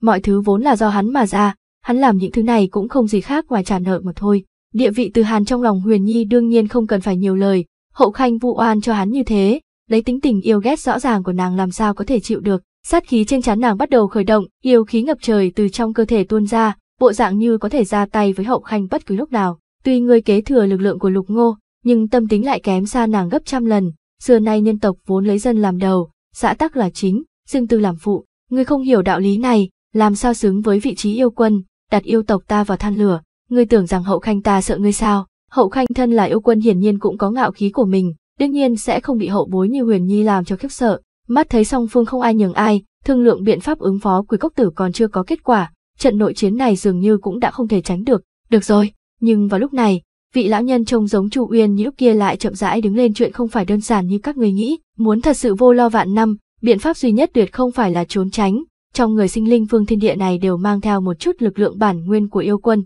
không diệt được quỷ cốc tử, không ai có thể gối cao ngủ ngon, cho dù đi ra khỏi vùng thiên địa này, lần trốn trong vạn vực tinh không, đám quỷ cốc tử cũng có ngàn vạn loại biện pháp để cho các người thần hồn câu diệt. Đế quân, mọi người nghe từ này đều nhíu mày, với tầm mắt kiến thức của bọn họ, kể cả yêu quân cũng biết rất ít về chuyện này. Đương nhiên đế quân cũng sẽ không bỏ qua cho các ngươi, dù sao những thứ sinh ra trong thiên hạ này đều có sự hiện hữu của hắn. Tóm lại muốn sống sót, biện pháp duy nhất chính là diệt trừ toàn bộ hai người bọn chúng. Các ngươi có thể tiếp tục tranh cãi, nhưng ta có thể nói cho các ngươi biết là tin tưởng từ Hàn, chỉ có hắn mới là người duy nhất đứng về phía chúng ta. Cho dù có lẽ hắn đã chết 18 cũng không thừa dịp giải khai tâm tư nghi hoặc cho mọi người, vẫn tự nói một mình. Mà Huyền Nhi lúc trước luôn đi theo bên người từ Hàn hiển nhiên biết càng nhiều hơn so với mọi người, nàng nhíu nhíu mày, nhìn về phía 18 hỏi, vậy ngươi có biết bước tiếp theo chúng ta nên làm như thế nào không? Quỷ cốc tử còn chưa hoàn toàn giáng lâm vùng thiên địa này, chúng chẳng qua tìm được một tên sứ đồ ở thế giới này mà thôi. Giờ phút này tên sứ đồ kia chắc hẳn đã đi vào sâu trong thế giới tìm kiếm lực lượng đế quân bị phong ấn, ngăn cản hắn, chúng ta mới có thể có một con đường sống. Huyền Nhi nghe đến chỗ này tất nhiên là không do dự nữa, nàng gật mạnh đầu, nói, vậy thì tốt, hiện tại chúng ta liền lên đường đi chỗ kia, ngăn ra hỏa nọ lại trước, rồi sau đó mới tính, nhưng 18 lại lắc đầu, nói, không có sau đó. Chỗ kia chính là chiến trường cuối cùng của chúng ta, thần của một thế giới chính là người chịu tải ý chí của thế giới này, hoặc có thể nói là người phát ngôn nhưng còn lâu mới có thể coi là chúa tể chân chính. Bởi vậy cho dù là Phương Tử Ngư hiện tại gần như đã hoàn toàn nắm giữ lực lượng của thần nhân, khi muốn hoàn thành sứ mạng của đám người quỳ cốc tử thì cũng không phải là chuyện dễ dàng. Lực lượng của đế quân bị phong ấn sâu trong thế giới, muốn đến được chỗ đó, việc đầu tiên cần làm chính là đi đến nơi sâu nhất trong thế giới này. Phương Tử Ngư hai con mắt đen nhánh hóa thành một tia chớp màu đen, thân hình nhanh chóng xẹt qua bầu trời, từ thành Kim Lang đến Trường Vũ Quan, từ Lộc Giác Nguyên đến Thượng Vân Thành, từ thập vạn đại sơn cho đến tòa côn luân tiên sơn tuyết trắng mênh mông ở trước mắt, đây hầu như đã kéo dài cách cả thế giới, nàng lại chỉ dùng không đến một canh giờ đến đích, lúc đi tới chân ngọn tiên sơn kia, trong con người đen kịt của Phương Tử Ngư hiện lên một tia dị sắc, do dự một chút vẫn hạ thân thể xuống, rơi vào ngay dưới chân núi, xung quanh côn luân tiên sơn tràn ngập uy áp thiên địa, dưới uy áp như vậy, bay lên trời tất nhiên sẽ bị lực lượng thiên địa cán trả. Đương nhiên với tu vi của nàng hiện nay, chống cự không phải là không thể, nhưng sau khi cân nhắc sẽ phải gặp một số khốn cảnh nào đó, nàng vẫn quyết định cố hết sức bảo tồn thực lực. Nàng cất bước đi trên mặt tuyết không có dấu chân người, bước chân một sâu một cạn, nhìn như trầm trọng chậm chạp, nhưng thực chất tốc độ lại nhanh đến kỳ lạ, chỉ trong nháy mắt nàng đã xuyên qua lớp tuyết động thật dày dưới chân núi, trên mái vòm trượt biển mây cuồn cuộn, một đạo kiếp vân bắt đầu nổi lên. Đó là những cấm chế mà năm đó đám chân tiên thiết lập tại đây, bất cứ người nào chưa được phép bước vào tiên sơn đều sẽ bị kiếp vân phía trên gọi ra côn luân kiếp ngăn cản. Từ Hàn từng bị những vật này ngăn lại, may có Huyền Nhi hô to một tiếng, mới có thể đánh nát đám côn luân kiếp nọ. Đối mặt với cảnh ngộ tương tự như Từ Hàn, Phương Tử Ngư chỉ ngẩng đầu nhàn nhạt, nhạt nhìn kiếp vân phía chân trời, chỉ liếc mắt một cái, kiếp vân vốn càng ngày càng tụ càng nhiều lại trong nháy mắt giống như gặp thiên địch, khi thế cuồn cuộn đột nhiên trì trệ, sau đó thiên kiếp tan đi, làm xong những thứ này, nàng lại không lộ ra chút vui mừng nào, sắc mặt như thường nhìn con đường phía trước, đúng lúc đó lại cất bước một lần nữa.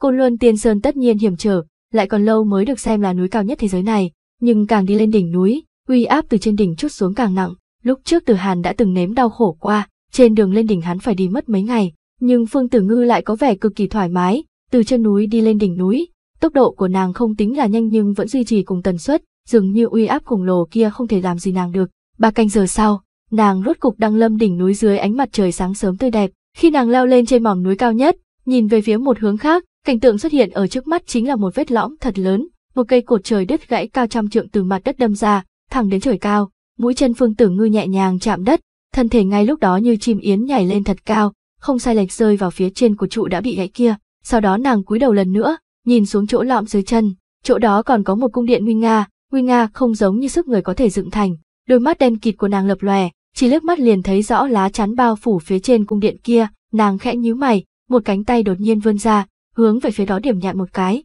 tấm bình phong ẩn nấp kia run lên, sau đó vết dạn như mạng nhện lan ra khắp bốn phía, trong chớp mắt vết dạn bao trùm toàn bộ lá chắn, nương theo một tiếng ầm vang thật nhỏ, bình chướng kia liền ầm ầm vỡ vụn, mà theo sau bình chướng vỡ vụn còn có huyễn ảnh cung điện nguy nga hùng vĩ kia. Tiên cung Côn Luân được thế gian tranh nhau ca tụng rốt của cũng lộ ra bộ dáng vốn có, rách nát, thậm chí còn phát ra trận trận mùi máu tươi khiến người ta buồn nôn. Sau lưng tất cả tốt đẹp ở trên thế giới này đều cất dấu ô uế, Phương Tử Ngư lầm bầm nói, nhưng âm điệu phun ra thì trong miệng lại không giống giọng của nữ tử, ngược lại cực giống một lão già đã 70 tuổi. Mũi chân của nàng nhẹ nhàng điểm lên trên trụ trời lần nữa, thân thể cũng lập tức nhảy lên, mượn cỗ lực đạo này bắn về phía cửa cung rốt cục lộ ra chân dung nọ. Ngươi biết không, trên đời này ẩn giấu rất nhiều bí mật, Phương Tử Ngư đang cất bước tiếp tục lầm bẩm tự nói, mà cái gọi là bí mật, hoặc là xấu hổ khi hé miệng, hoặc là có âm mưu bao trùm. Thế nhân đều thích giấu bí mật của mình rất sâu, tự cho là không để lộ dấu vết. Nàng nói, bước chân lại cất bước đi trong cung điện, nàng đi rất chậm, giống như người du lịch trong di tích cổ. Rất nhanh nàng đã xuyên qua cửa cung trùng điệp, đi tới đại điện giấu ở sâu trong cung, khi đó trên mặt nàng lần đầu tiên lộ ra nụ cười, nàng đưa tay để cửa điện cao lớn ra, trong miệng lại nói, nhưng bọn chúng không biết là. Ở trong mắt quỷ cốc tử, trên đời này căn bản không có bí mật, trận pháp trên cửa điện trong nháy mắt bỗng nhiên tan rã khi hai tay Phương Tử Ngư chạm vào, cửa điện kia liền dễ dàng bị nàng đẩy ra, ánh nắng sớm chiếu vào trong điện, làm cho cảnh tượng bên trong sáng tỏ như ban ngày. Nàng đưa tay chỉ chỉ từng bộ thi hài cao lớn vô cùng đứng thẳng trong điện kia, nói, thấy bọn chúng không, đều giống như ngươi vậy, là thần của vương thiên địa này ở thời kỳ thượng cổ, nhưng bọn chúng khác với ngươi, bọn chúng là người do trời chọn, chuyện cần làm để trở thành thần rất ít, chỉ cần cẩn thận trưởng thành, những lực lượng của ngươi cần bằng hữu dùng hết kế hoạch, hao hết cố gắng mới có được, đổi qua bọn chúng lại dễ như trở bàn tay. Người và người vốn là như vậy, rất nhiều thời điểm vận mệnh chiến thắng cái gọi là cố gắng, tựa như các người hao hết tâm tư muốn cầu một con đường sống, nhưng trước mặt chúng ta, kế hoạch của các người lại như trò chơi trẻ con vậy. Phương Tử Ngư nói ra, khóe miệng rõ ràng mang theo ý cười, nhưng trong con người đen kịt lại có nước mắt lăn xuống theo khuôn mặt của nàng. Nàng đưa tay dịu dàng lau đi nước mắt trên gương mặt mình, nhẹ giọng nói, đừng khóc, vì vạn vực tinh không, hy sinh của các người đều đáng giá. Nói xong lời này, Phương Tử Ngư liền trầm mặc lại, nàng tiếp tục cất bước tiến lên, xuyên qua hành lang dài rằng rạc trong đại điện, cuối cùng đi tới đài cao kia. Nàng đi hết bậc thang, cuối cùng dừng bước lại trên đài cao, sau đó cúi đầu nhìn xuống chân. Dưới đài cao là một cửa động cực lớn, giống như nham thạch nóng chảy cuồn cuộn trong động, khí tức cực nóng đập vào mặt, vốn là chỗ thần thánh nhất phương thiên địa này, nhưng ai có thể nghĩ đến, dưới ánh hào quang vạn trượng lại ẩn tàng hắc ám cực hạn của vạn vực tình không chứ. Phương Tử Ngư thấp giọng nói xong lời này, trong nháy mắt khí tức màu đen trong mắt càng thêm nồng đậm, quanh thân nàng có đồ vật màu đen tuôn trào ra, như là một đạo bình chướng bao bọc thân thể của nàng đến mức có thể nói kín không kẽ hở. Nàng bước chân mình ra, thân thể đã rơi vào cửa động, nói ra cũng kỳ quái, những thứ như nham thạch nóng chảy kia khi chạm đến khí tức màu đen quanh thân Tử Ngư, lại không có khí thế mãnh liệt như vừa rồi, ngược lại giống như thủy triều nhanh chóng thối lui, cứng rắn tạo ra một lối đi cho nàng. Vì vậy thân hình Phương Tử Ngư bắt đầu không ngừng rơi xuống phía dưới, vô số chất lỏng màu đỏ tứ tán ra, nhìn thì thấy phía sau cửa động cũng không lớn lắm lại đang ẩn giấu một thế giới khác. Thân thể Phương Tử Ngư rơi xuống như không có điểm cuối, mà càng hạ xuống, thế giới bên dưới càng trở nên trống trải. Dần dần vật màu đỏ chung quanh bắt đầu trở nên không nồng đậm như vậy nữa, mà hóa thành một dây dài to bằng cánh tay, không ngừng phun trào, một đầu sợi dây nối huyết sắc cuộn cuộn phía trên, đầu còn lại chọc thẳng xuống đáy vực sâu bao la bát ngát không thấy đáy phía dưới. Thân thể Phương Tử Ngư còn đang rơi xuống, tốc độ càng lúc càng nhanh. Quá trình như vậy kéo dài trọn vẹn nửa canh giờ, tốc độ thân thể của Phương Tử Ngư giảm xuống rồi dần dần dừng lại. Dưới chân của nàng lại là một mảnh tối tăm vô hình, tựa như vực sâu này căn bản không có điểm cuối. Phóc, trượt một tiếng vang nhỏ từ dưới chân Phương Tử Ngư truyền đến, thân thể nàng hạ xuống vào một khắc này hoàn toàn ngừng lại. Hai chân nàng dẫm trên một vật gì đó, nhưng vật đó lại hòa làm một thể với bóng tối xung quanh, khiến nàng không cách nào nhìn rõ. Nhưng nàng lại không lộ ra nửa điểm bối rối hay kinh ngạc, ngược lại vẻ mặt bình tĩnh dùng chân nhẹ nhàng dẫm lên vật dưới chân mình, hắc ám dưới chân bị lực đạo này tác động cũng bị đẩy ra từng gợn sóng như mặt hồ bị ném vào một hòn đá. Phương Tử Ngư cảm nhận được điểm này, bóng tối bao phủ thân thể thời khắc đó bị nàng thu lưỡng vào trong cơ thể. Nàng tung người nhảy lên, một đạo hào quang màu vàng từ trong cơ thể nàng nổ tung, hóa thành một cự long màu vàng quấn quanh người, quanh thân cự long kia phát ra ánh sáng cực kỳ chói mắt, lại không cách nào hoàn toàn chiếu sáng hắc ám trước mặt, nhưng nhờ vào hào quang yếu ớt kia, Phương Tử Ngư lại có thể thấy rõ mọi thứ trước mắt. Vật màu đỏ to bằng cánh tay kia hiển nhiên nối dài từ trên xuống dưới, chỗ nàng vừa rồi đứng thẳng trước mắt chính là điểm cuối của vật màu đỏ này. Một vật màu đen to lớn, phía trên đường vân tung hoành, trong đường vân dường như có thứ gì đó đang chảy xuôi, mà vật màu đen to lớn kia thì thỉnh thoảng co lại rồi bành trướng, bành trướng xong khép lại, mỗi một lần co lại, sự vật trong sợi dây dài màu đỏ sẽ tuôn tới bên trong vật màu đen kia, khi nó va chạm, vật màu đỏ sẽ theo sợi dây nọ chảy tới đỉnh đầu Phương Tử Ngư, cho đến lúc này, Phương Tử Ngư mới phản ứng lại, vật màu đen này lớn đến mức nhìn không thấy giới hạn, không ngờ lại là một trái tim cực lớn, mà bên trong trái tim kia, theo lý chính là lực lượng của đế quân đang bị phong ấn ở sâu trong thế giới. Còn người màu đen của Phương Tử Ngư chớp động hào quang, nàng chậm rãi vươn tay ra, bàn tay run rẩy từng ly từng tí đặt ở trên vật màu đen kia, tay nàng vuốt ve vật nọ, ánh mắt trở nên có chút mê say, nàng lầm bầm, chính là nó, chính là nó. Cuối cùng thời khắc này cũng tới. Trong bóng tối vô tận, trái tim to lớn kia đập thình thịch, thanh âm nặng nề vang lên không dứt, trong hai con ngươi của Phương Tử Ngư chớp động hào quang màu đen, ngọn lửa cuồng nhiệt và hưng phấn nhảy nháo trong đó, cuối cùng cũng chờ được giờ khắc này, nàng tự lầm bầm, nàng suy nghĩ một chút, hư ảnh cự long màu vàng sau lưng liền ngửa mặt lên trời thét dài một tiếng, từng đạo hào quang màu vàng từ quanh thân nó tuôn ra, những hào quang màu vàng kia tứ tán ra, bao cự long màu vàng vào trong đó. Chẳng qua chỉ mấy hơi thở, cự long màu vàng kia dưới kim quang đầy trời tan rã, sau mấy tức vậy mà hóa thành một mâm tròn màu vàng, nhìn bộ dáng lại giống mâm tròn màu đen từ hàn cưỡi dưới người khi tàn sát bách tính ở trường vũ quan mấy phần. Phương Tử Ngư cúi đầu nhìn một chút sự vật hóa thành mâm tròn màu vàng rồi phi độn tới dưới người mình, lông mày nàng nhíu lại, trên mặt lộ ra vẻ hào hứng. Bạn đang xem Tàng Phong được đọc tại kênh YouTube Di Các Phim, không thể tưởng được chỉ là một chỗ man hoang mà lại có bản nguyên của thần ngưng thực đến trình độ như vậy, cũng khó trách thằng nhóc kia có thể phá hư tính toán của chúng ta, đây là do chúng ta quá mức khinh địch, Phương Tử Ngư lầm bầm, từ giọng điệu cùng thần sắc trên mặt khó có thể nhìn ra buồn bã trong lòng nàng,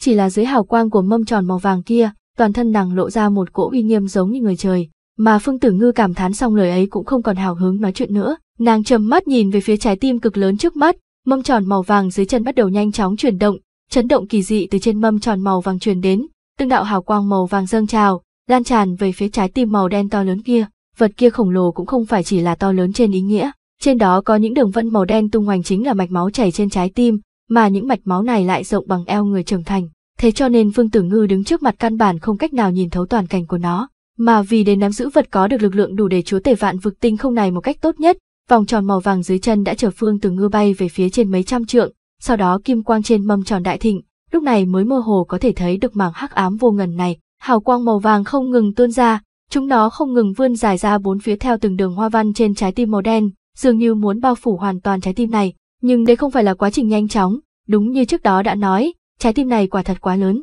thế cho nên hào quang quanh mâm tròn màu vàng dần dần trở nên mờ đi, tốc độ tuôn ra loại vật màu vàng kia cũng chậm lại vài phần, nhưng hào quang màu vàng chỉ mới bao phủ mặt ngoài không đến một nửa trái tim này. Phương Tử Ngư nhíu mày, dường như cũng không dự đoán được đối với tình cảnh như vậy. Theo tính toán của nàng, chỉ bằng vào lực lượng thần nhân mà nàng nắm giữ tự nhiên còn chưa đủ để hoàn toàn cởi bỏ phong ấn thời thượng cổ. Lúc này quỷ cốc tử cần hao phí một chút lực lượng của mình để trợ giúp Phương Tử Ngư đạt thành việc này, nhưng lực lượng việc này cần tiêu tốn lẽ ra cũng không quá nhiều. Nhưng bây giờ lực lượng của Phương Tử Ngư gần như đã dùng hết, mà trái tim mới chỉ bị ăn mòn không quá nửa. Điều này mang ý nghĩa quỷ cốc tử cần hao phí càng nhiều lực lượng trợ giúp Phương Tử Ngư. Nghĩ tới đây, trong lòng của y nổi lên từng trận bất an, dù sao y xưa nay tinh thông tính toán, bất luận một chút sai lầm nhỏ bé nào, đối với bọn chúng mà nói cũng là chuyện khó có thể tiếp nhận. Cho dù sai lầm như vậy dường như cũng không tạo thành bất cứ ảnh hưởng gì đối với kết quả, nhưng Phương Tử Ngư lắc đầu, vứt bỏ toàn bộ cảm xúc ngoài ý muốn trong lòng mình ra, Quỷ Cốc Tử am hiểu mưu tính rồi mới động, nhưng tuyệt sẽ không do dự không quyết,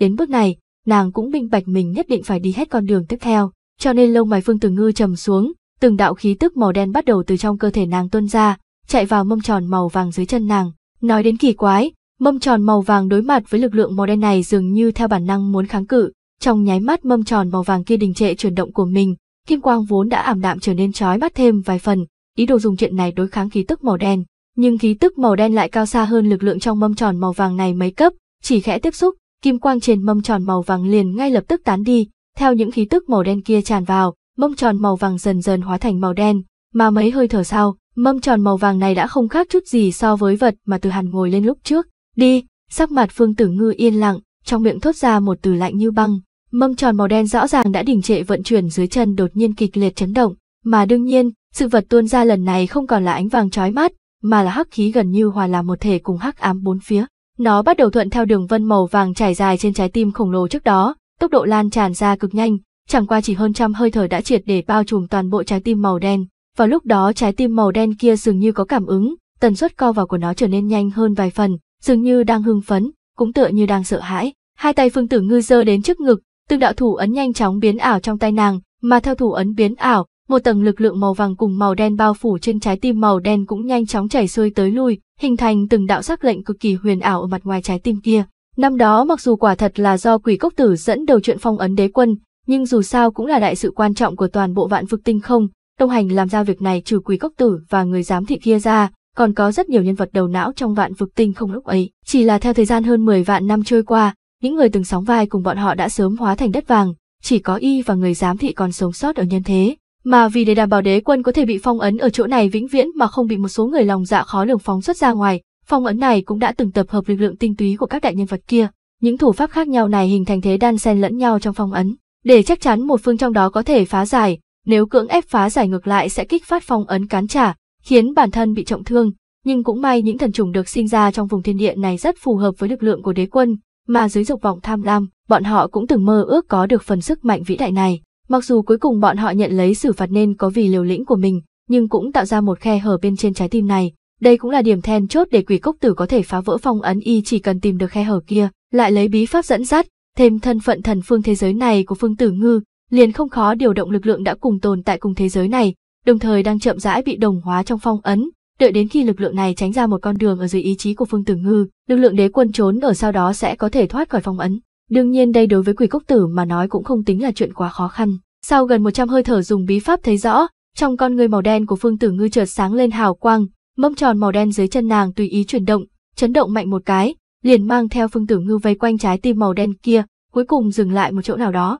Trên trái tim màu đen kia có một khe hở không thể nhìn thấy, theo sự co rút của trái tim lại có từng trận khí tức màu đen tuôn ra, mặc dù so sánh với lực lượng bàng bạc trong trái tim kia, khí tức phun ra gần như không đáng nhắc tới, nhưng kẽ hở này chính là một chỗ mấu chốt nằm trong tất cả kế hoạch những năm gần đây của đám quỷ gốc tử. Nhìn chỗ kia, khóe miệng Phương Tử Ngư phát họa lên một ý cười, tay nàng duỗi về phía cái khe kia, mông tròn màu đen dưới chân điên cuồng xoay tròn, hắc khí dâng lên ngưng tụ ở lòng bàn tay nàng, hóa thành một quả cầu màu đen. Vật kia càng ngày càng tụ lớn, mà tần suất trái tim màu đen kia đập cũng lập tức trở nên càng kịch liệt, hai bên mặt ngoài khe nứt trái tim bắt đầu run rẩy, tách ra hai bên dưới lực lượng kia hiệu triệu, khe hở nọ lập tức trở nên càng lúc càng lớn, lực lượng bao trùm phía sau nó cũng bắt đầu chậm rãi lộ ra hình dáng của mình. Khóe miệng Phương Tử Ngư càng thêm vui vẻ, nàng đang muốn thúc giục lực lượng của của mình tăng nhanh tiến trình, nhưng bỗng nhiên sắc mặt nàng biến đổi, thân thể chợt chuyển hướng ra sau lưng, một tay đột nhiên duỗi ra hướng về hư không nắm một cái, một thanh trường kiếm ngay lúc đó từ tối tăm vô tận trên đỉnh đầu bắn đến, nhẹ nhàng rơi vào lòng bàn tay của nàng. Hai đầu lông mày Phương Tử Ngư tuôn ra vẻ tàn khốc, nàng ngẩng đầu nhìn về phía đỉnh đầu, tay nắm thân kiếm kia bỗng nhiên dùng sức, thanh trường kiếm kia liền hóa thành bột phấn, tản mát ra trong không gian hắc ám. Lúc này, trong không gian màu đen trên đỉnh đầu có mấy thân ảnh bay nhanh đến, rơi vào trong hư không cách nàng không xa. Tử Ngư tỷ tỷ, một cô bé mới tầm hơn 10 tuổi trong đó sau khi nhìn rõ dung mạo của Phương Tử Ngư liền hưng phấn hô to một tiếng, nhìn tư thế liền muốn cất bước tiến lên, nhưng lại bị một cánh tay duỗi ra từ sau lưng nó ấn chặt lại. 19 nghi hoặc không giải thích được nhìn về phía sư phụ của mình, cao mày hỏi, sư phụ, người làm gì vậy? Lão nhân phía sau nó im lặng lắc đầu, nói, ngươi mở to hai mắt nhìn kỹ lại, nàng không phải tử ngư tỷ tỷ của ngươi. 19 nghe vậy sững sờ, nàng nhìn về phía phương tử ngư sắc mặt yên lặng trước mắt lần nữa, rất nhanh liền phát hiện ra đôi con ngươi đen kịt của đối phương. Thân thể cô bé chấn động, lúc này mới nhớ tới Tử Hàn từng có một đôi mắt như vậy ở trên Đại Uyên Sơn, sắc mặt nàng lập tức khó coi, cứ đứng ngây người nguyên chỗ. Lúc này Phương Tử Ngư cũng nhìn về phía đám người đột nhiên đến, nàng nhíu mày, hơi chút hoang mang hỏi, sao các ngươi tới được nơi này? Khi đến chỗ này cần xuyên qua huyết trì tích trữ vô số máu của thần trùng, nơi đó tràn ngập lực lượng của đế quân, mặc dù không coi là cường đại, nhưng cũng cực kỳ cuồng bạo. Đám thần trùng đã từng có ý đồ lấy thứ này để thôn phệ lực lượng của đế quân, nhưng không ngờ cuối cùng lại bị lực lượng trong huyết trì cắn trả, kết cục hóa thành máu loãng. Bởi vậy có thể tưởng tượng được lực lượng kia đối với sinh linh bình thường mà nói chính là thứ đáng sợ cỡ nào. Quỷ cốc tử nhập vào phương tử ngư, đương nhiên trong lúc nhất thời không thể hiểu được đám người trước mắt này làm sao làm được. Tuy nhiên sau khi hỏi vấn đề này ra, ánh mắt của nàng chợt dừng ở trên người lão nhân vừa nói chuyện với 19 kia. Trong con người đen tuyền trong chớp mắt đó không ngờ lại lộ ra vẻ kinh ngạc, giọng nói lẩm bẩm có phần bất khả tư nghị, là ngươi. Hóa ra ngươi chính là sai lầm không ngừng lặp lại 19 lần này. Ngươi, ngữ khí của nàng ban đầu từ khiếp sợ dần biến thành tức giận, đến lúc đó cũng trở nên cao vút thêm vài phần. Rốt cuộc làm thế nào thoát khỏi gông cùm của thế giới này? Trên mâm tròn màu đen có một vương tọa to lớn đứng sừng sững, trên vương tọa là một nam tử áo đen khuôn mặt yên lặng, dường như đang lâm vào một loại mộng cảnh nào đó. Trên mâm tròn hai bên vương tọa có sáu bóng người chia làm hai phe đứng hai bên. Vương tọa lướt qua với tốc độ cực nhanh, nơi nó đi qua là tàn ảnh màu đen một hồi lâu vẫn không tiêu tán. Thần vô song có chút khó hiểu nhìn nam nhân trên vương tọa, tuy nói tâm tư của vị thần nhân trước mặt không phải là thứ y có thể suy đoán, nhưng vừa nghĩ đến chuyện chủ thượng của mình sẽ hợp tác với người kia thì trong lòng y lại hơi lo lắng bất an. Dù sao trong 19 lần ký ức đã nói cho y biết, sự trưởng thành của người kia còn lâu mới đánh giá bằng lẽ thường được. Tốc độ mâm tròn màu đen cực nhanh, cách côn luân khoảng mấy vạn dặm, nhưng dưới sự thúc giục của mâm tròn cũng chỉ mất nửa khắc đồng hồ mà thôi. Trong lúc đó bọn họ đi ngang qua thập vạn đại sơn triển lộ ở nhân gian một lần nữa, những yêu tộc trong núi bận rộn chạy đi chạy lại khiến cho thần vô song thầm cảm thấy có chút buồn cười, còn kiến hôi không tự biết mệnh đại khái chính là như thế. Còn về phần đám người đần độn ở tứ đế sơn, y lại càng khinh thường không thôi, lo lắng duy nhất của y vẫn là người không giết được kia. Nghĩ đến đây, mâm tròn màu đen đã đi tới phía trên tòa tiên cung rách nát nọ, sau đó liền ngừng lại. Tôn thượng, thần vô song đợi một hồi vẫn không thấy động tĩnh gì, bèn nhỏ giọng gọi nam nhân ngồi trên vương tọa, nhưng hai con mắt nam nhân nhắm nghiền, cũng không nóng lòng đáp lại. Thần vô song liếc nhìn Nguyên Tu Thành ở bên cạnh, trong mắt hai người đều có chút lo lắng và hoang mang. Hai người nhìn nhau một hồi, sau đó đều thấy được quyết ý trong ánh mắt của nhau. Quỷ cốc tử đã đi vào sâu trong thế giới, một khi đối phương lấy được lực lượng đế quân còn lại, đến lúc đó mọi tính toán của bọn họ đều sẽ thất bại. Việc này cấp bách 10 phần, không cho phép chỉ hoãn. Vì thế trong lòng hai người trầm xuống, trong tay mỗi người đều nổi lên hắc mang, đây là bí pháp do đế quân truyền cho bọn họ, mượn bí pháp này liền có thể thức tỉnh hắn từ trong ngủ say. Chỉ là hắc khí vừa mới ngưng tụ ra trong tay hai người, sau lưng liền có một xúc tu màu đen bắn ra, lấy tốc độ nhanh kinh người hung hăng đâm vào trên khí tức màu đen kia, đột nhiên xuyên thủng khí tức màu đen thật vất vả mới ngưng tụ thành. Thần vô song và Nguyên Tu Thành sửng sốt, lập tức quay đầu nhìn lại, đã thấy quần áo của Trần Huyền cơ lay động, hiển nhiên chuyện vừa rồi do gã cố ý gây ra. Ngươi định làm gì? Thần vô song lập tức nheo mắt, trầm giọng quát, hai mắt Trần Huyền cơ đã hóa thành màu đen nhánh bình tĩnh mở miệng nói, tôn thượng có lời, lúc hắn nhập mộng, người ngoài không được quấy rầy, với cường giả cấp bậc như đế quân, đương nhiên không cần phải ngủ hay nghỉ ngơi. Nhập mộng đương nhiên không phải là nhập mộng bình thường, mà là đi vào sâu trong linh hải nói chuyện với Từ Hàn đang bị nhốt. Vốn thần vô song đang cực kỳ đề phòng Từ Hàn, lại thêm tình huống khẩn cấp, tất nhiên là không kìm được cơn giận dữ của mình. Quỷ cốc tử ngay trong điện, việc này liên quan đến thành bại của chúng ta, sao có thể bảo thủ không chịu thay đổi. Y nghiêm nghị nói, lúc này không động thủ với Trần Huyền Cơ hiển nhiên đã là cực kỳ khắc chế. Đáng tiếc chính là Trần Huyền Cơ dường như không lĩnh phần nhân tình này của Y, sắc mặt vẫn bình tĩnh lặp lại, tôn thượng có lệnh, không thể quấy giày. Thần vô song cũng chưa từng bị cản trở như vậy, sát khí ngưng động giữa hai hàng mi của Y, lạnh giọng nói, nếu ta phải quấy dày thì sao? Lời vừa nói ra, áo bào quanh người Y tung bay, khí thế hùng hồn xúc thế trở phát động như cũ. Trần Huyền Cơ không hề nhượng bộ chút nào, thậm chí phía sau gã còn có cả mông khắc, Mục Cực và Chu Trương cũng đều cất bước đi ra,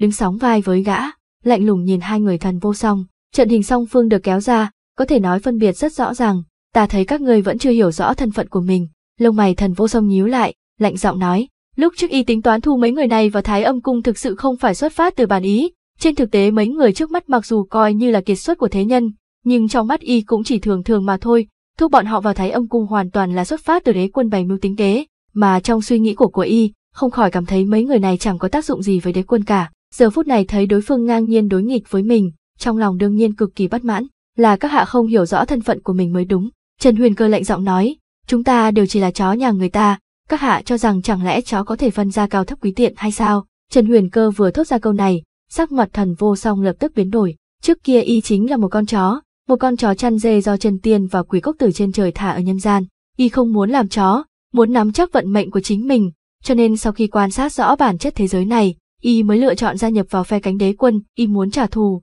đồng thời cũng muốn thay đổi vận mệnh của mình. Quyết tâm trả thù cùng khoái cảm như vậy khiến y trong lúc nhất thời quên mất một sự thật, y vẫn là một con chó, chẳng qua là đổi chủ nhân mà thôi. Khoảnh khắc đó khí tức quanh thân thần vô song trở nên điên cuồng, sau lưng y hắc khí cuồn cuộn ngất trời, bao phủ bốn người Trần Huyền Cơ, mắt thấy sắp phát ra một trận đại chiến.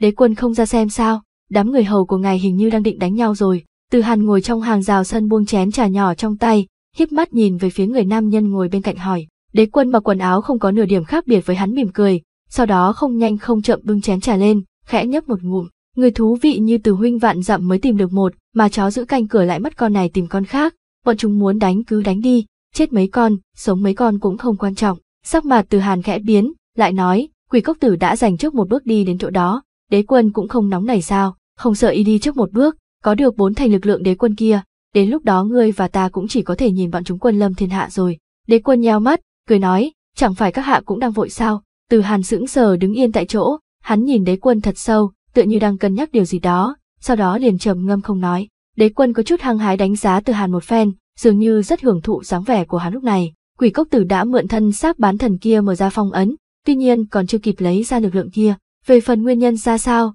ta nghĩ các hạ còn rõ ràng hơn ta. Nghe đế quân nói vậy, từ hàn ngần người, cười nói, đế quân nói đùa rồi, chúng ta đã bị ngài vây ở trong huyễn cảnh này trọn vẹn 9 tháng, bên ngoài xảy ra chuyện gì, tại hạ sao có bản lĩnh biết được. Ồ, trên mặt đế quân mang ý cười, nói như vậy, kể cả ta chờ thêm chút thời gian, có lẽ các hạ cũng sẽ không để ý, đúng không? Dường như gã đã bắt được chân đau của Từ Hàn, hiếp mắt hỏi ngược lại, trên tay không vội vàng nâng chén trà lên, uống một ngụm. Từ Hàn trầm mắt nhìn đối phương một hồi, cuối cùng không cách nào thủ vững vẻ bình tĩnh trên gương mặt mình, vào lúc đó thở dài hỏi, cố định lên giá, cũng không phải việc một người làm ăn nên làm. Người làm ăn nói quy củ cũng không phải bởi vì bọn họ thật sự quan tâm quy củ, mà là người làm ăn tuân theo quy củ mới có thể kiếm được càng nhiều tiền hơn. Đế quân cười nói, nhưng chúng ta thật sự làm một trận mua bán, tự nhiên có thể kiếm được bao nhiêu thì lời bấy nhiêu. Từ Hàn yên lặng, sau đó cười khổ gật đầu, vẫn bị đế quân nhìn thấu, vậy mời đế quân đưa ra lời hứa ngài muốn đi. Đế quân trầm giọng nói, mấy ngày nay ta vẫn luôn nghĩ đến, so sánh với quỷ cốc tử, rốt cuộc hai người các ngươi ai mới là kẻ am hiểu tính toán hơn.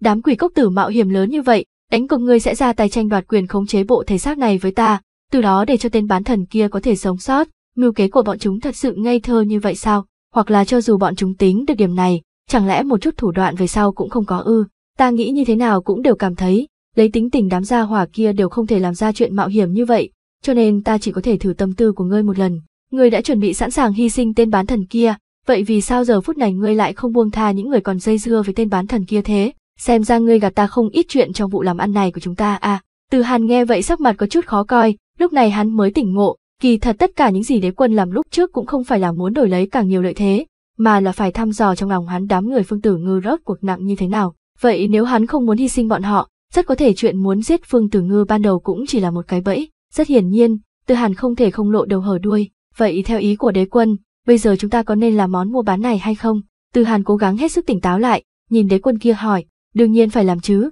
không có mối làm ăn này, chúng ta đều phải chết, nhưng ngươi không muốn chết, ta chắc chắn cũng như vậy, cho nên chuyện mua bán này vẫn phải làm, nhưng ta nghĩ như thế nào e rằng phải đổi cách khác. Mời đế quân nói, từ hàn híp mắt hỏi, hàn mang trong khe mắt hẹp dài kia bắt đầu khởi động, hai con đường, đế quân giơ ngón tay ra, lắc lắc trước mặt hắn. Thứ nhất, chờ đến khi những bằng hữu của ngươi chết trong tay quỷ cốc tử, chúng ta mới ra tay lần nữa. Kế hoạch của ngươi là giết tên bán thần kia cũng được, hay là tính kế khác cũng tốt, chỉ cần ngươi chịu chết, ta sẽ thỏa mãn ngươi. Đế quân nói xong lời này còn cố ý dừng lại một chút, ánh mắt có chút thú vị rơi vào trên người từ hàn, dường như đang cảm thấy rất hứng thú xem nam nhân này sẽ làm ra phản ứng như thế nào. mà hoàn toàn không khác gì gã dự liệu. Từ Hàn nghe xong lời nói này sắc mặt rất khó coi, hắn trầm mặc một hồi, chủ động hỏi, thế còn biện pháp thứ hai, nụ cười trên mặt đế quân càng đậm, gã nhìn con mèo đen và chó đen nấp trong góc sân, hai tiểu tử kia dường như có chút không rõ rốt cuộc ai mới là chủ nhân của mình, trong lúc nhất thời ánh mắt nghi hoặc, lại hơi có chút linh động, đế quân lắc đầu, thầm nghĩ tên từ hàn này đúng là đã ở nơi đây lâu rồi,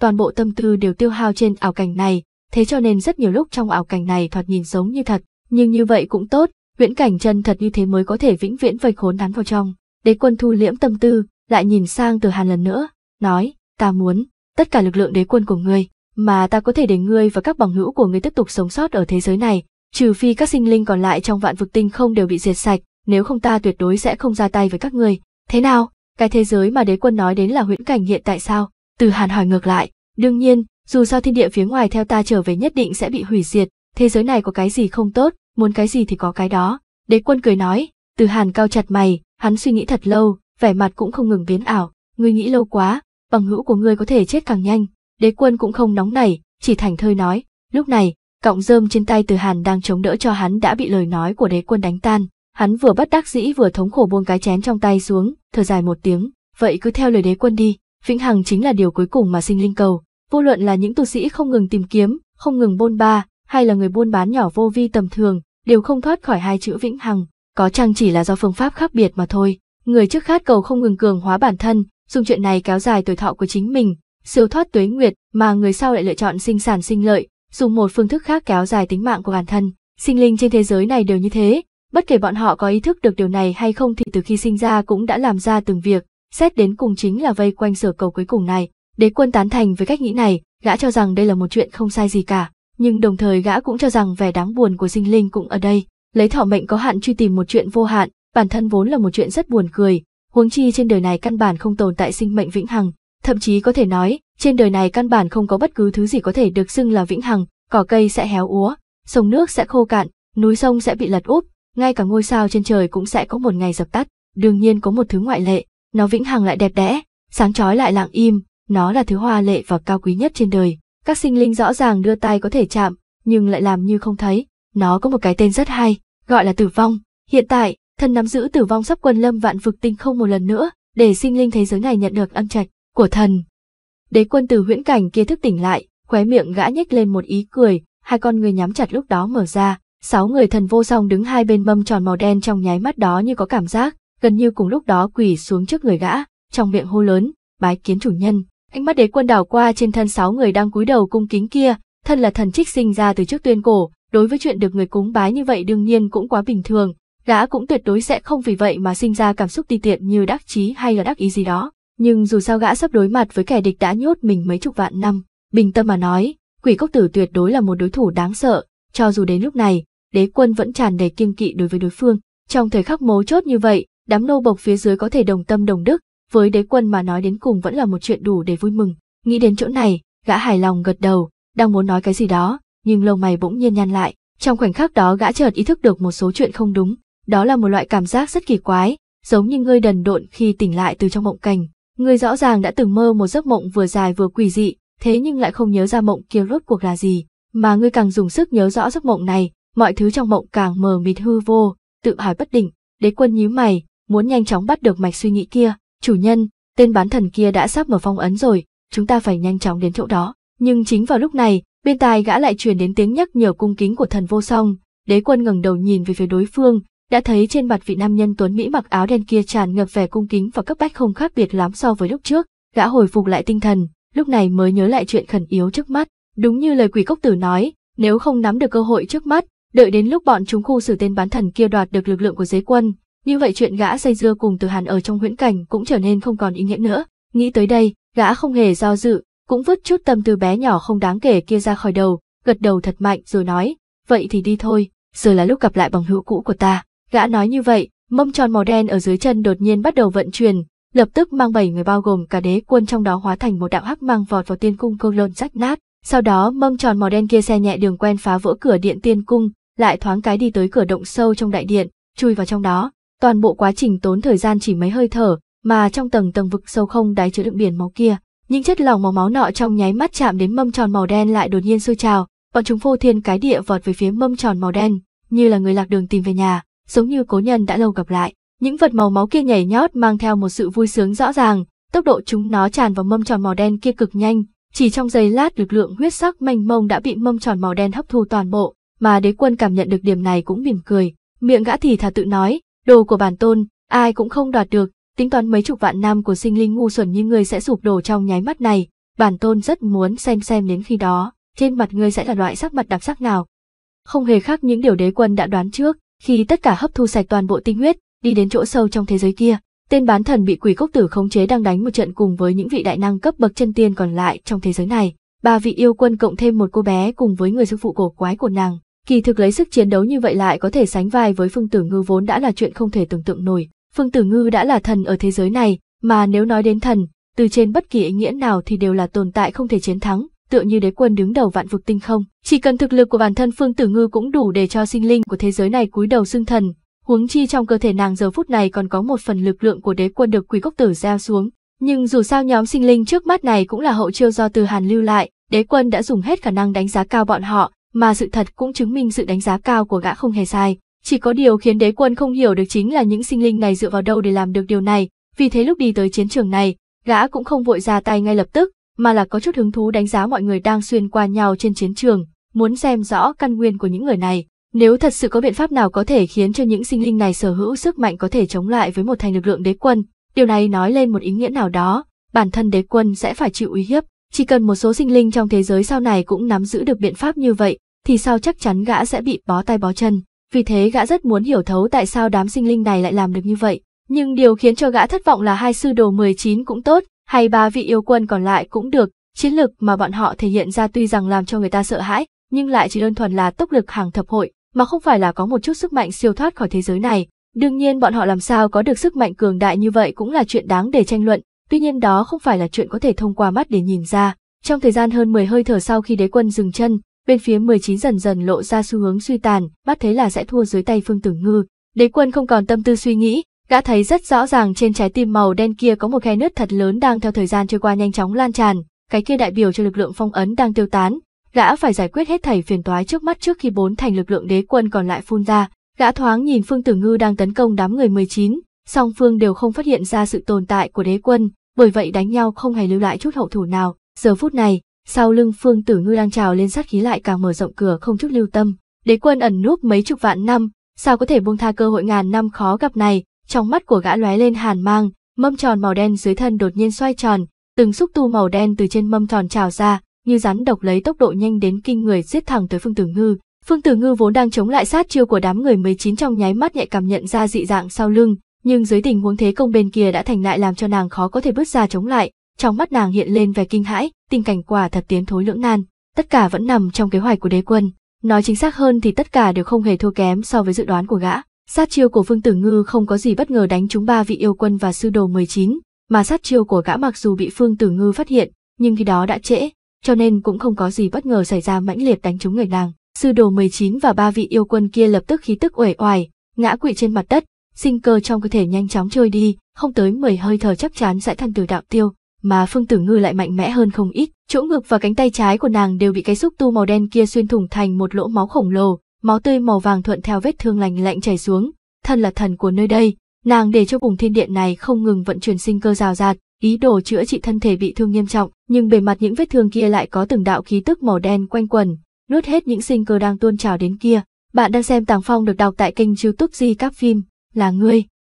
Phương Tử Ngư cao mày, sắc mặt tái nhật nhìn về phía đế quân. Đế quân ngồi trên vương tọa, sáu vị sứ giả vây quanh từ trên cao nhìn nàng bên dưới, mỉm cười nói, đã lâu không gặp, hai bên, một người sắc mặt trắng bệch, giọng nói chứa đầy tức giận, một người mỉm cười, thậm chí còn rảnh rỗi quan sát đối phương, bởi vậy tình cảnh của hai bên khác biệt hẳn so với nhau, mặc kệ người nào cũng có thể hiểu rõ. Nhưng đáng tiếc chính là sẽ không còn ai có thể chứng kiến tình cảnh vĩ đại quyết định vận mệnh của vạn vực tinh không ngàn vạn năm sau này ngay lúc song phương đối thoại. Thân thể thầy trò 19 cùng ba vị yêu quân bị thương nghiêm trọng không cách nào chống đỡ nổi, hai mắt bọn họ đồng loạt nhắm lại, sinh cơ trên người trong nháy mắt tiêu tán, hiển nhiên đã chết đi. Nghĩ không ra, ngươi lại có thể dùng phương pháp kim thiền thoát xác này, chạy thoát, Phương Tử Ngư không có tâm tư quan tâm sinh tử của đám người 19, nàng rất rõ ràng, người trước mắt mới là phiền toái lớn nhất của mình. Các hạ tính toán thông thiên, nếu bản tôn không mạo hiểm, làm sao may mắn lấy bộ dáng như vậy để gặp mặt các hạ được. Tiêu ý trên khóe miệng đế quân nồng đậm hơn một chút, gã tiếp tục nói, nhưng không có một chút tâm tư ra tay nào.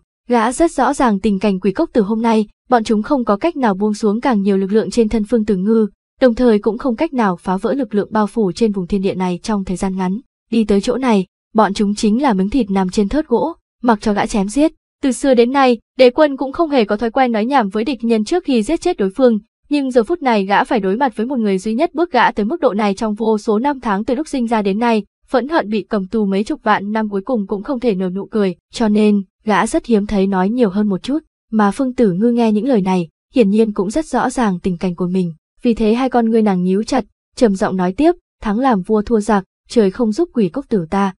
Hừ, đế quân cười lạnh một tiếng, trời không giúp ngươi, sinh linh ngu muội đến bây giờ còn không hiểu sao, ta chính là trời của vạn vực tinh không đó. Phương Tử Ngư trầm mặc lại, hiển nhiên nàng đã mất đi hứng thú đối thoại với đế quân, dù sao lập trường cùng ân oán giữa hai người tuyệt đối không phải thứ mà ngôn ngữ có thể hóa giải, như vậy trước mặt bọn họ thì chỉ có một con đường để đi, tử chiến mà thôi. Quần áo nàng bắt đầu cuồn cuộn, mâm tròn màu đen mà đế quân ngồi cũng bắt đầu xoay tròn, hai cỗ lực lượng hiếm có trên thế gian này rốt cuộc cũng hoàn thành khúc dạo đầu của đại chiến, kết quả là tử chiến bắt đầu.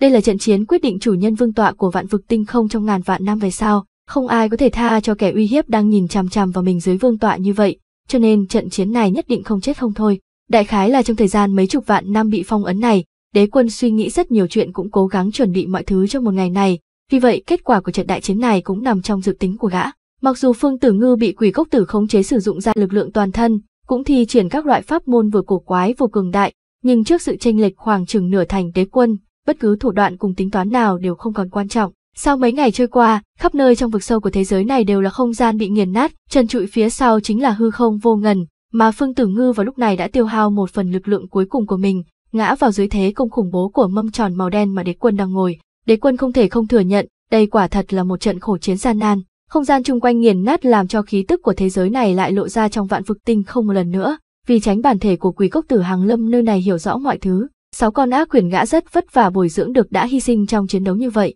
mặc dù có chút đáng tiếc, nhưng cũng rất đáng giá. Đế quân cảm thấy mỹ mãn, cắn nuốt một phần mười lực lượng đế quân trong cơ thể phương tử ngư, sau đó liền ném thi thể thiếu nữ đã mất đi sinh cơ vào trong hư không vô tận. Sau đó gã quay đầu nhìn về phía chỗ sâu nhất trong vực sâu, nơi đó có một trái tim màu đen cực lớn vẫn đang đập, mà giữa trái tim có một vết dạn nhìn thấy mà giật mình đã xuyên qua toàn bộ trái tim, độ rộng vết dạn cũng đạt đến ba trượng. Đế quân ở trong lòng yên lặng tính toán một phen, chỉ sợ không quá nửa khắc phong ấn này sẽ hoàn toàn mở ra, mà cùng lúc đó gã cũng cảm giác được rất rõ ràng, thuận theo những vết nứt không gian sinh ra do chiến đấu kia, trong khí tức lan tràn ra ngoài. Chân thân quỷ cốc tử đang dùng tốc độ cực nhanh bay về phía phương thiên địa này, nhưng vạn vực tinh không rộng lớn cỡ nào, dù là đế quân ở thời kỳ toàn thịnh muốn vượt qua vùng cương vực này cũng cần tốn không ít thời gian, huống chi đám quỷ cốc tử kia. Theo đế quân thấy, cách làm như vậy đơn giản là dễ chết vì không cam lòng tiếp nhận vận mệnh mà thôi. Gã cười lạnh một tiếng, sau đó thu hồi ánh mắt đang nhìn về phía hư không, lại quay đầu nhìn về phía trái tim khổng lồ kia. Gã từ trên vương tọa đứng dậy,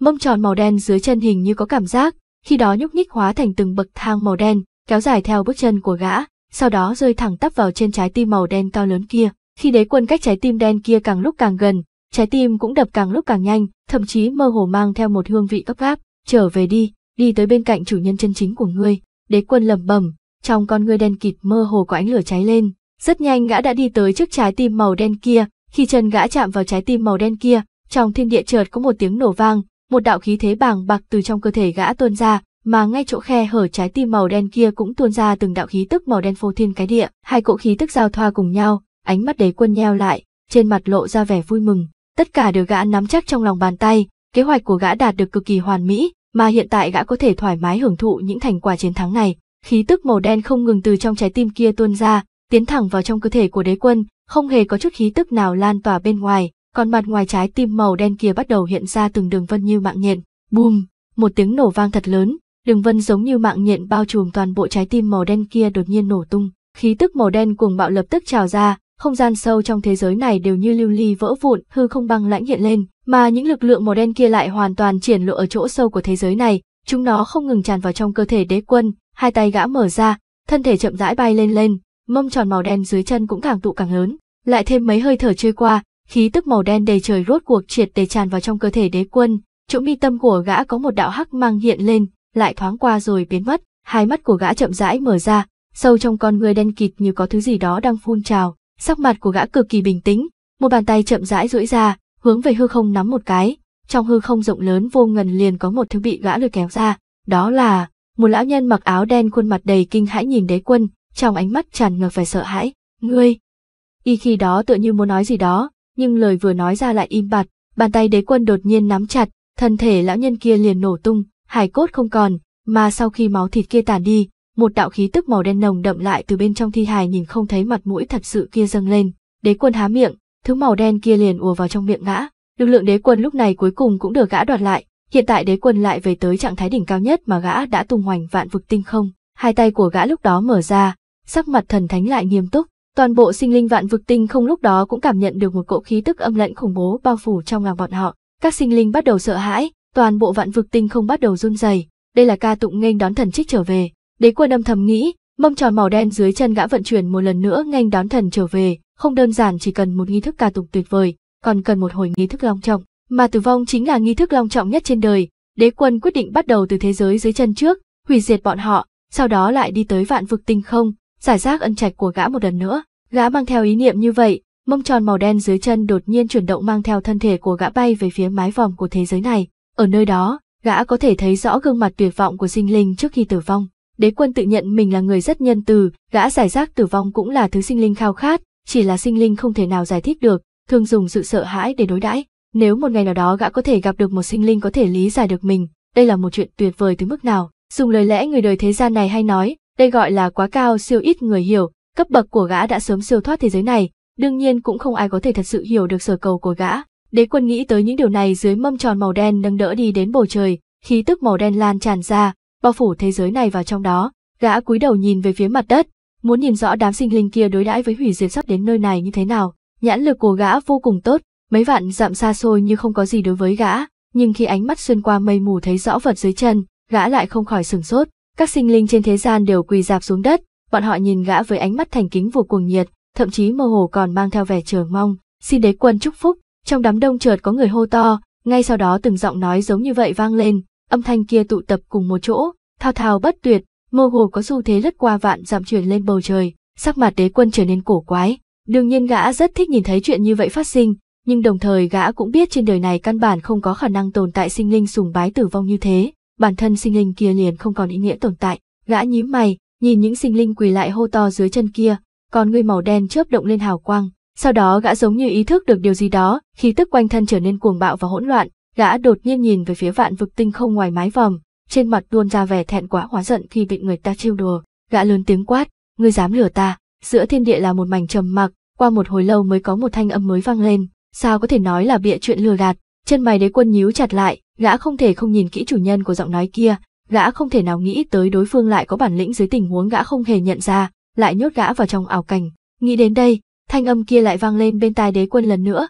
không phải đế quân đã từng nói với từ mộ sao, ở thế giới này muốn cái gì có cái đó, đế quân không phải đã muốn thành công sao, còn không cảm ơn tại hạ, cơ mặt đế quân bắt đầu run rẩy, các loại cảm xúc phẫn nộ không cam lòng, dâng lên trong lòng gã, trong con người đen nhánh hiển hiện ánh lửa lập lòe, kéo dài như vậy, ngươi thật sự không sợ những bằng hữu của ngươi chết trong tay quỷ cốc tử sao? Đế quân cắn răng gằn từng chữ một, nhưng vấn đề này lại làm từ hàn cười khẽ một tiếng, nhưng vừa rồi đế quân đã cho ta xem, ngài cũng sẽ không để cho bọn họ sống sót không phải sao? Từ hàn nói xong, một bóng người màu trắng chậm rãi ngưng thực trước mặt đế quân, không ngờ lại là từ hàn mặc một bộ áo trắng. Gã mỉm cười nhìn đế quân, trên mặt không thấy nửa phần giận dỗi hoặc là đắc ý. Huống chi thế giới này là đồ vật mà đế quân đưa cho tại hạ, vạn vật bên trong đều tùy tâm mà động, thời gian cũng là như thế, dù cho ta và ngài sống ở đây hơn vạn năm, thời gian bên ngoài cũng qua một cái chớp mắt mà thôi, chỉ cần đế quân nguyện ý, tại hạ có thể luôn ở bên ngài. Nói xong câu này, cảnh sắc trước mắt chợt trở nên mờ mịt, không gian vặn vẹo một hồi, sau khi một đạo bạch mang chói mắt hiện lên, Từ Hàn và đế quân lần nữa đi tới trước căn nhà tranh dựa trên sườn núi kia. Trà mới tại hạ đã pha sẵn cho đế quân rồi, ngài có muốn uống một chén không? Từ Hàn ngồi lên ghế đá trước gian nhà tranh, hiếp mắt nhìn đế quân, miệng hỏi như thế, nhưng bàn tay duỗi ra nhấc bình trà trên bàn lên, rót hai chén trà, đặt một chén trước người, đẩy một chén khác về phía đối diện. Sắc mặt đế quân rất khó coi, gã trầm mặc một lúc lâu, sau đó hít sâu một hơi, ngọn lửa nóng rực trong con người đã tắt, gã cất bước đi tới bên cạnh Từ Hàn, ngồi xuống chỗ kia, giơ tay bưng chén trà lên uống một hơi cạn sạch, sau đó nhìn về phía Từ Hàn hỏi, ngươi muốn như thế nào? Từ Hàn nhẹ nhàng cười cười, một con mèo đen nhảy vào trong lòng hắn, hắn vuốt ve bộ lông bóng loáng của nó, miệng chậm rãi đáp, đế quân không nói quy củ, nhưng Từ Mỗ là người nói quy củ, ta muốn dựa theo giá tiền ban đầu của chúng ta làm ăn. Đế quân nheo mắt, trong khe mắt hẹp dài tràn ngập vẻ khiếp sợ không cách nào che giấu. Đề nghị của Từ Hàn đương nhiên không phải không tốt, mà là quá tốt. Thế nhưng đế quân không thể không hoài nghi, phía sau đề nghị của đối phương liệu có phải cất giấu âm mưu gì hay không. Dù sao Từ Hàn giờ phút này đã thể hiện ra thực lực có thể ngăn chặn gã, giữa hai người kia liền phát sinh một số biến hóa vi diệu,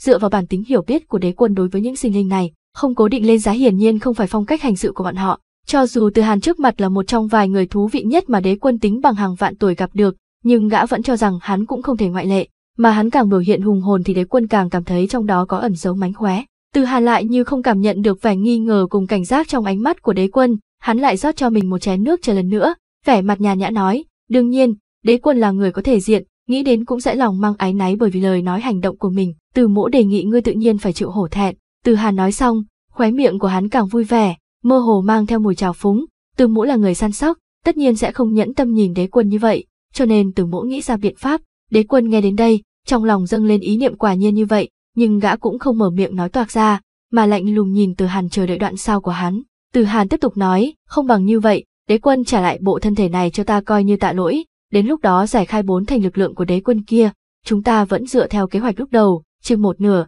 đế quân thấy thế nào? Sắc mặt đế quân lập tức biến đổi, gã thấy từ Hàn muốn thoát thân đương nhiên phải trả giá lớn, mà gã cũng đã chuẩn bị kỹ càng rồi, nhưng vẫn không thể tưởng tượng nổi điều kiện từ Hàn đưa ra lại hà khắc tới mức vậy. Ngươi cũng biết ta không có cách nào đáp ứng ngươi điều kiện này. Đế quân nhắm mắt nói, ngữ điệu trầm thấp đến cực hạn, từ Hàn cũng có thể cảm nhận được rõ ràng trong lúc lời nói ra khỏi miệng, lửa giận cũng đang ấp ủ trong lòng đối phương, nhưng Từ Hàn vẫn như chưa cảm giác được, hắn vẫn nâng chén trà lên, đặt bên miệng khẽ nhấp một ngụm rồi nói, trên đời này chưa từng có điều kiện nào không thể tiếp nhận, chỉ có điều không có quyết tâm. Trong mắt đế quân lại bốc lên ngọn lửa, quần áo của gã tung bay, non xanh nước biếc trong vùng thiên địa này dưới uy áp khổng lồ bắt đầu trở nên vặn vẹo và mơ hồ bất định, mặt đất dưới chân gã bắt đầu vỡ vụn, vết sạn nứt rộng mấy trượng từ dưới chân gã lan tràn ra khắp bốn phía, hàng rào trong sân cùng nhà tranh sụp đổ, núi xanh nguy nga sau lưng bị lật úp, nước sông trước mặt bắt đầu chảy ngược, một cái mâm tròn màu đen to lớn lộ ra hình dáng từ trong mặt đất, đế quân đứng ở chính giữa mâm tròn, thân thể từ từ bay lên, từ trên cao nhìn xuống Từ Hàn. Khi đó mặt đất dưới chân Từ Hàn đã vỡ vụn, nhưng thân thể của hắn vẫn bình yên không nhúc nhích trong hư không, thậm chí ấm trà và chén bên cạnh cũng đứng ở phía xa cùng hắn, dường như dưới chân bọn chúng vẫn tồn tại một bệ đá vô hình, đang nâng đỡ bọn chúng. Ai? Từ Hàn thở dài một hơi, ngữ điệu tức hận lại mang theo một mùi thương cảm, có phải đế quân đã quên, những gì ngài có ở thế giới này, từ mỗ cũng có thể làm được. Vừa nói xong, chén trà trong tay từ hàn nhẹ nhàng rơi xuống, sau đó quần áo của hắn bắt đầu căng phồng, con người cũng lập tức bị màu đen sẫm xâm nhiễm, dưới chân hắn đột nhiên hiện lên một cái mâm tròn màu đen giống như đế quân lúc đầu, nâng thân thể của hắn đi tới độ cao tương tự đối phương, ánh mắt hai người giao nhau, vẻ tức giận trong mắt đế quân càng ngày càng nồng đậm, mà ánh mắt từ hà lại cực kỳ bình tĩnh, không biết bao nhiêu tuế nguyệt trôi qua, cho dù là bị đôi thầy trò kia vây khốn trong thời gian tuần hoàn, bị quỷ cốc tử phong ấn ở sâu trong thế giới này, đế quân cũng chưa bao giờ cảm nhận được nhục nhã như vậy. Ít nhất trong mấy lần thất bại kia, đế quân ít nhiều là vì một số nhân tố không xác định tính kế, mà gã thủy chung ở vị trí bị người khác cảnh giác, bị người khác kiêng kỵ,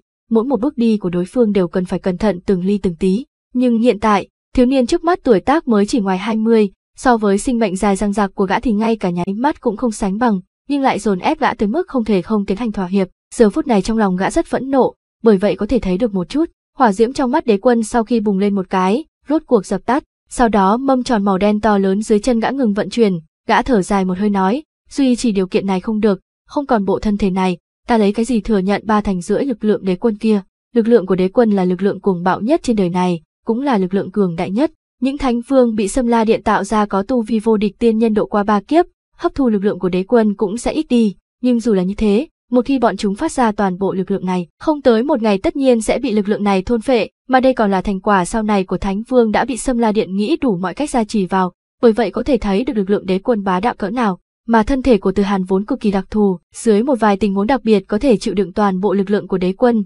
ngoài ra gần như khó mà tìm được thân thể như vậy trên đời này. Nếu nói thật chỉ có thể có bộ thân thể như vậy, cũng chỉ còn lại cốc chủ quỷ cốc tử cùng với người giám thị tu vi thông thiên của vạn vực tinh không kim mà thôi. Nhưng hiển nhiên không phải dễ dàng đạt được thân thể hai người này như vậy, nhất là với trạng thái hiện tại của đế quân. Tu vi bản thân của quỷ cốc tử cũng không làm người ta sợ hãi, nhưng còn có thể thông qua đủ loại mưu kế phong ấn đế quân ở thời kỳ toàn thịnh, đế quân hiện giờ càng không phải là đối thủ của y, mà một vị người giám thị khác là người giám sát gã. Tu vi của y không đơn giản chỉ là hai chữ dọa người có thể hình dung, thậm chí đến nay đế quân cũng khó có thể tưởng tượng, một sinh linh có thể dựa vào bản lĩnh của mình tu đến cảnh giới như vậy, nếu không khôi phục sức chiến đấu thời kỳ toàn thịnh, đế quân nhất định không muốn trêu chọc đối phương, cho nên dưới tình cảnh hạn chế như vậy, nhục thân của Từ Hàn đã trở thành lựa chọn duy nhất của gã. Từ bỏ thân thể Từ Hàn tương đương với từ bỏ cơ hội trở thành đế quân chân chính, điều này hiển nhiên là một điều kiện bất luận thế nào đế quân cũng không thể tiếp nhận. Mười phần lực lượng của đế quân tất nhiên không phải ai cũng chịu đựng được, nhưng ba thành lực lượng của đế quân lại rất dễ nói. Sắc mặt Từ Hàn vẫn không đổi,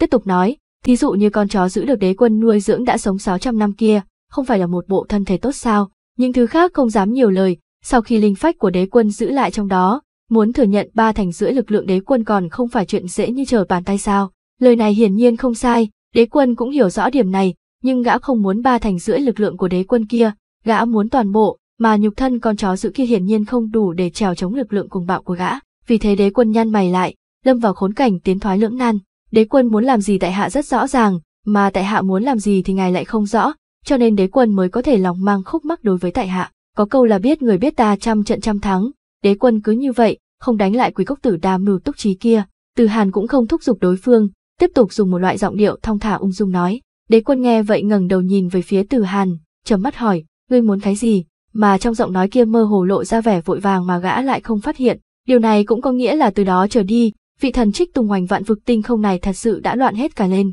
Đế quân ngẫm nghĩ mà xem, quỷ cốc tử muốn thần lực của ngài, còn thứ đế quân muốn chính là khôi phục đỉnh phong, tiếp tục quân lâm vạn vực tinh không. Mâu thuẫn giữa hai người các ngươi hiển nhiên là không thể hòa giải, thậm chí là không chết không thôi. Từ Hàn híp mắt nói, mà tại hạ muốn vận mệnh của mình và sinh linh thế giới này có thể bình yên sống sót. Nếu muốn làm được điều này, ta phải khiến cho đế quân không cách nào thực hiện được, cũng phải khiến quỷ cốc tử hoàn toàn thất bại, cho nên mâu thuẫn giữa ta và đế quân cùng quỷ cốc tử cũng không thể điều hòa được. Nói cách khác, ba chúng ta đều là tử địch. Đế quân nghe đến đây, trong mắt gã lại hiện ra vẻ tức giận lần nữa. Gã cảm nhận được một hương vị bị người ta lừa gạt, cho dù không muốn nhưng không thể không thừa nhận là, lúc nãy gã hỏi câu hỏi kia, trong lòng mơ hồ có chút kỳ vọng từ Hàn có thể đưa ra một đáp án khác, thí dụ như nguyện ý liên thủ với gã, hoặc là bắt tay giảng hòa, trải qua ảo cảnh trước kia, trong lòng đế quân dĩ nhiên có chút e ngại thiếu niên trước mắt này, nếu có thể, gã cũng không nguyện ý đối địch, đã như vậy, ngươi cảm thấy ta có lý do gì để tạo ra cho mình một đối thủ đáng sợ, đế quân cao mày hỏi, khóe miệng từ Hàn nhếch lên, nói,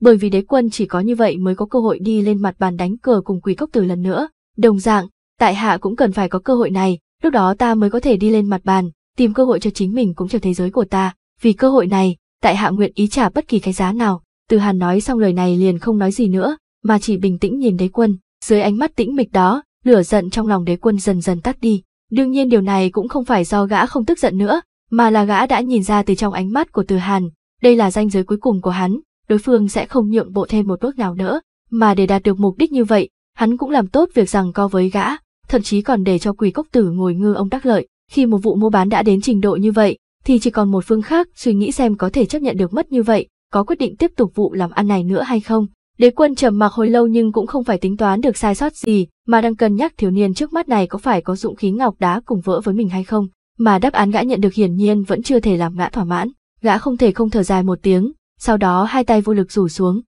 Trên mâm tròn màu đen ở tiên cung Côn Luân, rằng co giữa thần vô song và Trần Huyền Cơ vẫn còn tiếp tục, sát khí giữa hai đầu lông mày của hai người ngưng trọng, khí cơ bàng bạc không ngừng va chạm giữa không trung, phát ra từng đợt âm thanh trầm đục, mà lúc này, đôi mắt đang nhắm chặt của đế quân trên vương tọa bỗng mở ra, một cỗ khí tức cường đại từ trong cơ thể gã cuốn tới, sắc mặt của song phương đang rằng co đều đại biến, đồng loạt thu liễm thế công, sau đó vội vàng quay đầu nhìn về phía đế quân đã thức tỉnh kia. Sao vậy? Một hồi ta không ở đây, các ngươi đã muốn nội đấu đến người chết ta sống à? Đế quân hiếp mắt hỏi, hiển nhiên hai bên đều cực kỳ sợ hãi gã, vào lúc đó đều cúi thấp đầu, không dám nhìn thẳng ánh mắt của chủ thượng nhà mình. Thuộc hạ chỉ làm việc theo ý của chủ thượng mà thôi, nhưng vô song nhất quyết đòi quấy giày chủ thượng, cho nên vừa rồi mới xảy ra xung đột. Trần Huyền cơ tranh lên tiếng trước thần vô song. Thần vô song nghe nói lời ấy giật mình trong lòng, thầm mắng một câu, liền ngẩng đầu nhìn về phía đế quân đang muốn nói rõ mọi chuyện vừa xảy ra, nhưng khi đưa mắt nhìn về phía đối phương, lại chỉ thấy đế quân đưa một tay vươn ra, ra hiệu y đừng nhiều lời. Ngươi lên đây, sau đó đế quân ngoác ngón tay với thần vô song.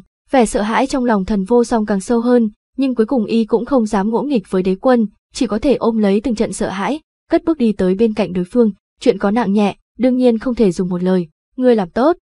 Mà ngay khi thần vô song thầm nghĩ mình phải thừa nhận lửa giận của đế quân, bên tai y lại vang lên những lời như vậy, ban đầu y sững sờ, sau đó trong lòng bỗng cảm thấy vui mừng, thuộc hạ không dám đi quá giới hạn, chỉ là chuyện rất khẩn cấp, chủ thượng có thể hiểu thật sự là may mắn của thuộc hạ. Thần vô song nói xong ngẩng đầu nhìn về phía đế quân, lời nói kia nói được một nửa thì đột nhiên im bặt, y nhìn thấy một đôi mắt, một đôi mắt thanh tịnh mang theo ý cười trêu tức, thân thể y chấn động, dưới chân như nhũn ra, khi đó cả người ngã ngửa ra sau, y như ý thức được cái gì, đây không phải là ánh mắt đế quân nên có, đây là con mắt của Từ Hàn. Ở sâu trong thế giới này, trên trái tim màu đen kia, một vết dạn nhìn thấy mà giật mình đã dài trăm trượng, hắc khí nồng đậm bắt đầu thuận theo khe hở phiêu tán ra, nhưng Phương Tử Ngư ở chỗ này lại không có nửa điểm tâm tư quan tâm những lực lượng ước mơ kia, nàng chỉ trầm lông mày đánh giá mấy bóng người trước mắt, nữ tử mới 11-12 tuổi, lão nhân diện mạo tiểu tụy, cùng với ba vị yêu quân nàng từng gặp ở phương thiên địa này lúc tiến hành bố cục. Đội hình như vậy ở chỗ này đương nhiên là đủ để đè ép thiên hạ, nhưng đặt ở nơi này, bọn họ có thể phá vỡ lực lượng cùng bạo bên trong áo máu kia đã là một chuyện không thể tưởng tượng nổi, càng không nói đến việc đối địch với nàng. Ánh mắt của nàng đào qua từng người một, cuối cùng dừng lại ở trên người lão nhân kia, còn mắt nàng chợt nheo lại, trong khe mắt hẹp dài chớp động quang mang, ngữ điệu bỗng nhiên cao vút thêm vài phần, nàng hỏi, chính là ngươi, ngươi làm sao thoát khỏi gông cùm xiềng xích của phương thiên điện này, trên đời này có rất nhiều thứ ngươi không biết, nếu đã không biết, vậy thì vĩnh viễn không cần phải biết nữa. 18 lạnh giọng đáp, trong mắt Phương Tử Ngư càng lạnh thêm, mông tròn màu đen dưới chân nàng xoay tròn chút ra từng đạo uy áp bàng bạc từ dưới chân nàng, bao phủ mọi người vào trong đó. Dưới uy áp đó, đừng nói người có tu vi thấp kém như 19, ngay cả ba vị yêu quân kia sắc mặt cũng trắng bệch, khí tức không thông, chỉ duy nhất 18 mặt vẫn không đổi sắc, lạnh lùng nhìn Phương Tử Ngư, trong miệng phun ra một câu đạo tổ Ngụy Trường Minh năm xưa từng nói, càng phẫn nộ lại càng sợ hãi. Lời như vậy không thể nghi ngờ chọc giận Phương Tử Ngư, sát khí giữa hai đầu lông mày nàng ngưng trọng, lạnh giọng nói, con sâu cái kiến sắp chết, càng kêu gào thì càng đáng thương. Nói xong quần áo nàng chấn động, mâm tròn màu đen dưới chân bắt đầu nhúc nhích, mặt ngoài trở nên sền sệt, như là loại vật chất nào đó xen lẫn thể chảy và thể rắn, mà theo lớp ngoài chuyển động, từng gương mặt tràn ngập tức giận và hoàng sợ hiện lên từng gương mặt trên mâm tròn, từng đạo từng đạo, đồng thời theo thời gian trôi qua càng lúc càng rõ ràng, sau đó thân thể, tay chân của bọn chúng bắt đầu hiện hiện, không quá mấy hơi thở, từng bóng người đen kịt từ trong mâm tròn bò ra, mặc dù bọn chúng có bộ dạng con người, nhưng lại là tứ chi chạm đất, hai con người lộ ra hồng quang, trong miệng nhe ra răng nanh trắng nhọn lại sắc bén, mà càng làm cho người ta sợ hãi chính là khí tức bao phủ quanh thân những quái vật kia giờ phút này cường hãn vô cùng, đồng thời lại mang theo một cỗ mùi vị hoàn toàn khác với sinh linh, dù chỉ là hơi chạm đến, sẽ cảm thấy lỗ chân lông toàn thân run rẩy, lạnh lẽo thấu xương, nếu không muốn nói, vậy thì đợi sau khi mở ngực phá bụng lấy ra sinh hồn của ngươi, ta sẽ chậm rãi tra hỏi. Phương Tử Ngư nhẹ nhàng nói xong, đám quái vật hình người trên mâm tròn màu đen tựa như nhận được sắc lệnh, đồng loạt phát ra một tiếng thét chói tai, sau đó thân thể tựa như tia chớp màu đen từ trên mâm tròn kia nhảy lên thật cao, trực tiếp đánh về phía đám người. Còn người mọi người ở đây đột nhiên phóng đại, những quái vật mà Phương Tử Ngư nhìn như tùy ý triệu hồi ra này chỉ riêng tốc độ đã nhanh đến mức dọa người. Tuy rằng lấy tu vi của yêu quân cũng khó mà nắm bắt được dấu vết của bọn chúng một cách rõ ràng, mà đợi đến khi mọi người phục hồi tinh thần lại từ trong khoảng thời gian kinh hãi ngắn ngủi này, những quái vật màu đen kia dĩ nhiên đã giết tới trước mặt bọn họ. Mọi người không dám kinh thường, lập tức thôi động lực lượng trong cơ thể mình, lấy cái này để chống đỡ công kích của những quái vật hình người kia. Chiến đấu song phương từ ban đầu đã triển khai theo tư thế nghiêng hẳn về một bên, bản thân những quái vật màu đen kia đã cực kỳ cường hãn, hơn nữa số lượng cực lớn, Phương Tử Ngư trong lúc phất tay liền triệu hoán ra trọn vẹn mấy trăm con. Mọi người tuy cũng coi như dũng mãnh, nhưng để giết chết một con thì phải phí khí lực rất lớn, mà đám quái vật ở bên cạnh đương nhiên cũng sẽ không nhàn rỗi, thừa dịp mọi người ra tay ngăn cản sẽ tiến hành công kích mãnh liệt. Bởi vậy không đến 100 hơi thở trôi qua, số lượng những quái vật màu đen kia tử thương không quá 20 con, mà trên thân đám người 19 đã mang theo các loại thương thế hoặc lớn hoặc nhỏ. Chính là 18 thâm tàng bất lộ kia mặc dù tu vi rất cường hãn, mơ hồ có xu thế áp xuống yêu quân, nhưng lại hao phí đại khí lực bảo vệ 19, bởi vậy giờ phút này cũng chật vật không chịu nổi. Phương Tử Ngư trên mâm tròn híp mắt nhìn đám người đang đau khổ dãy dụa kia, trong lòng cũng không thoải mái, ngược lại có chút nghi hoặc. Nàng vốn tưởng rằng đối phương có thể xuyên qua huyết hải bao phủ trên đỉnh đầu kia đi vào chỗ này, chắc hẳn phải có bản lãnh ghê gớm gì, nhưng giờ xem ra nàng lo lắng nhiều rồi, nhưng càng làm cho nàng càng khó hiểu chính là với chút bản lĩnh này, đám người kia dựa vào cái gì dám tới chỗ này chịu chết. Quỷ cốc tử trời sinh tính tình đa nghi, lại tinh thông tính toán mưu kế, mọi việc đều thích đào bới hỏi đến cùng, hoàn toàn nắm giữ trong lòng bàn tay. Hơn nữa hành động của Từ Hàn lúc trước thật sự vượt quá rất nhiều so với dự liệu của bọn chúng, cũng tạo cho bọn chúng phiền toái không nhỏ, bởi vậy vào thời khắc này y không khỏi nghĩ nhiều một chút, thế nhưng rất nhanh y liền buông bỏ nghi ngờ như vậy, bởi vì không đến 10 hơi thở ngay lúc y đang suy nghĩ, đoàn người 19 đã xuất hiện xu thế tan tác, quỷ cốc tử không chỉ ưa thích nắm hết mọi thứ trong tay mình, ngoài ra y càng hiểu rõ một đạo lý còn lớn hơn so với bất cứ đạo lý nào, tất cả nhân tố không an phận, dưới tình huống không thể nắm giữ, giết chết là lựa chọn tốt nhất. Bạn đang xem Tàng Phong được đọc tại kênh youtube Di Các Phim, cho nên khi đó bàn tay của Phương Tử Ngư nắm thật chặt vào hư không, những bóng người màu đen đang đánh giết lẫn nhau kia lại lần lượt bị bao phủ bởi hắc khí toàn thân đại thịnh, thế công của bọn chúng dần trở nên lang liệt, những kẻ có xu hướng suy tàn như vậy dưới thế công như vậy cũng chỉ có thể chống đỡ, không còn sức hoàn thủ, trong đó nhất là vị yêu quân phi liêm kia, một cánh tay đứt gãy, ngày thường thật không nhìn ra cái gì, nhưng trong lúc đánh nhau sinh tử như vậy lại hiển lộ ra tai hại, những quái vật hình người kia nhìn như vô tri vô giác, không sợ sinh tử, nhưng tiến công lại rất có quy luật. Đám quái vật vây công phi liêm liền nhắm chuẩn sơ hở nơi tay phải của gã bị cắt đứt, không ngừng tấn công, rốt cuộc tìm được cơ hội, cắt rách bình chướng bên hông phải của phi liêm, xé mở huyết nhục của gã. Móng vuốt sắc bén mang theo khí tức màu đen, sau khi cắt nát máu thịt phi liêm, lưu lại trên vết thương máu chảy đầm đìa. Trong khí tức màu đen hiển nhiên bao lấy một loại lực lượng cực kỳ ác độc, không chỉ ngăn cản vết thương tự lành, càng theo thời gian chuyển rời, không ngừng lan tràn ra bốn phía vết thương, rất nhanh vết thương của gã trở nên cháy đen và đục ngầu, còn tản ra từng trận mùi hôi thối như là từng khối thịt thối giữa. Mà thương thế do vết thương này tạo thành hiển nhiên không đơn giản như vậy, những khí tức màu đen kia theo máu thì dũng mãnh vào trong cơ thể, phá vỡ, thôn phệ khí cơ trong cơ thể gã. Trong lúc nhất thời khí thế của gã lưu chuyển trở nên vô cùng chậm chạp, mà những quái vật hình người kia lại càng nhìn chuẩn cơ hội, cả đám ùn ùn xông tới, hung hăng đè ngã thân thể phi liêm xuống đất, móng vuốt sắc bén, thậm chí răng nanh cũng không ngừng rơi vào người gã, tiếng kêu thảm thiết trộn lẫn cùng máu thịt bay tứ tung, càng dện dữ tợn đáng sợ. Mọi người ở bên thấy tình cảnh này đều kinh hãi trong lòng, cũng muốn nhanh chóng ra tay cứu viện Phi Liêm, nhưng do sát ý của Phương Tử Ngư đã quyết, đương nhiên sẽ không để cho mọi người có cơ hội, chỉ thấy quần áo của nàng phồng lên lần nữa, lại có hơn trăm quái vật hình người từ trong mâm tròn màu đen kia tuôn ra, cả thét ra nhập chiến trường, ngăn cản mọi người cứu viện Phi Liêm. Hơn trăm con quái vật hình người này chính là cọng rơm cuối cùng đè sập mọi người, Mọi người vừa rồi khó khăn lắm mới có thể ổn định cục diện lập tức sụp đổ, mặc dù không đến mức như phi Liêm bị ấn ngã trên đất, mặc cho làm thịt, nhưng cũng chỉ có thể không ngừng phi thân tránh né, dĩ nhiên đã không còn tư cách tiếp tục ác chiến. Phương Tử Ngư nhìn hết thảy trước mắt, khóe miệng nàng hiện lên một ý vui vẻ, nàng tính toán đại khái ra được, xem biểu hiện của mọi người bây giờ, không quá mười hơi thở nữa, những người trước mắt chắc chắn sẽ bị đám quái vật hình người kia gặm ăn biến thành từng mảnh xương trắng. Nàng lại quay đầu nhìn một chút về phía trái tim màu đen cực lớn kia, Vết nứt nơi đó gần như đã xuyên qua toàn bộ bề mặt trái tim, rất nhanh phong ấn bao bọc lực lượng vĩ đại nhất trên đời sắp sụp đổ. Tâm tình của nàng cũng tốt hơn vài phần, phiền não từng bị hành động của Từ Hàn làm hỏng chuyện lớn trong thời khắc này cũng tán đi không ít,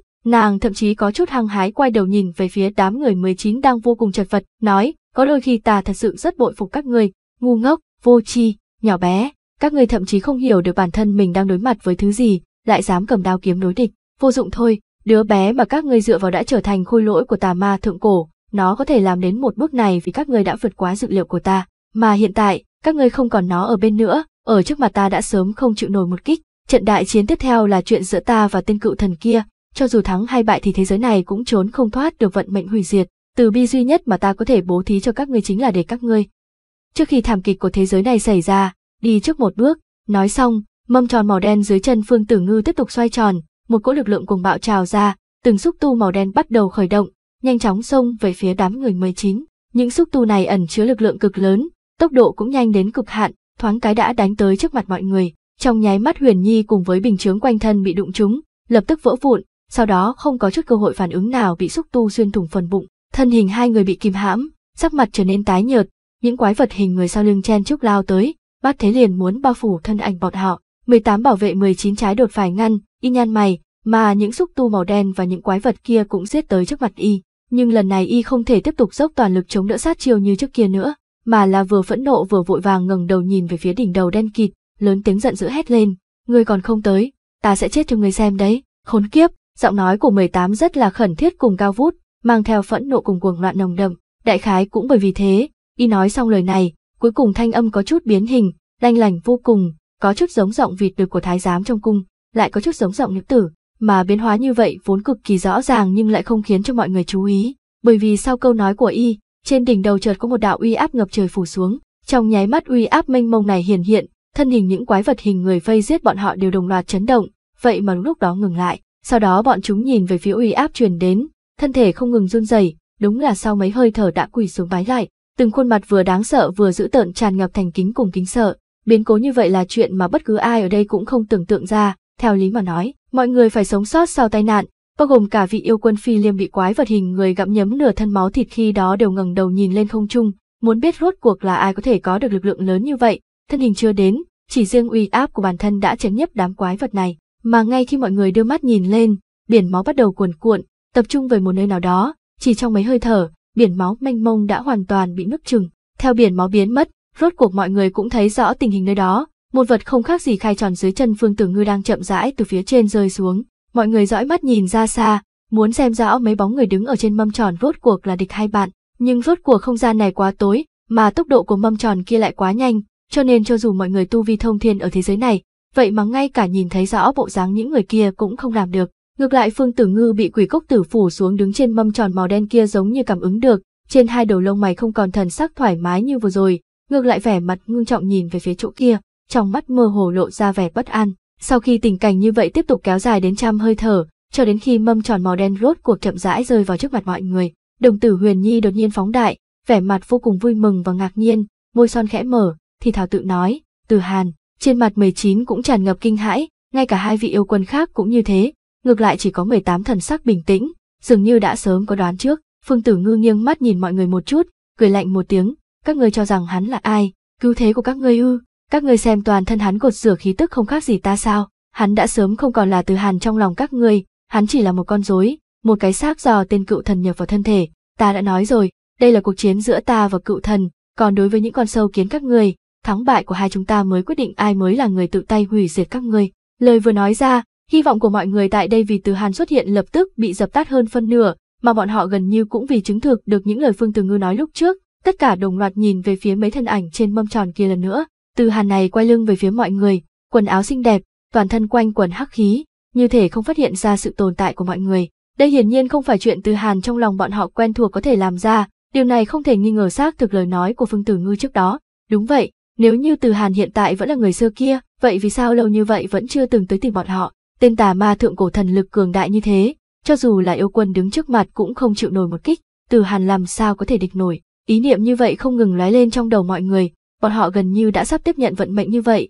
bỗng một thanh âm chợt vang lên, đường đường là chủ nhân vạn vực tinh không, làm sao có thể tùy tiện tìm được một vài người thao thao bất tuyệt, là cao siêu quá ít người hiểu hay là phô trương thanh thế, mọi người sửng sốt, đều biết âm thanh kia là do một trong mấy bóng người đứng quay lưng về phía bọn họ trên mâm tròn nói ra, nhưng bởi vì ngữ điệu kia vô cùng âm lãnh, trong lúc nhất thời bọn họ cũng không cách nào phân biệt ai mới là chủ nhân chân chính của thanh âm này. Phương Tử Ngư nghe vậy ngoái đầu lại nhìn về phía cái mâm tròn kia, khóe miệng nhếch lên, người ngoài nhìn không rõ, nhưng lại không giấu được con mắt của nàng. Người nói chuyện này đương nhiên là kẻ nhập vào trong thân thể Từ Hàn, ánh mắt nàng rơi vào trên người thiếu niên áo trắng kia, cười nói, cao siêu quá ít người hiểu thế nào, phô trương thanh thế thì sao, tại hạ dù không giỏi, cũng phong ấn đế quân ở phương thiên địa này mấy chục vạn năm, suy nghĩ một chút, từ xưa đến nay cũng không ai có thể làm được như vậy à, hừ, không có đôi thầy trò người giám thị kia, chỉ bằng ngươi cũng có thể phong ấn đế quân, ngươi chẳng qua chỉ là con chuột trốn trong bóng tối, ngươi được mùi tanh liền chen chúc mà tới, đại khái cũng là do ở trong bóng tối quá lâu, cho nên khi đi đến trên mặt bàn,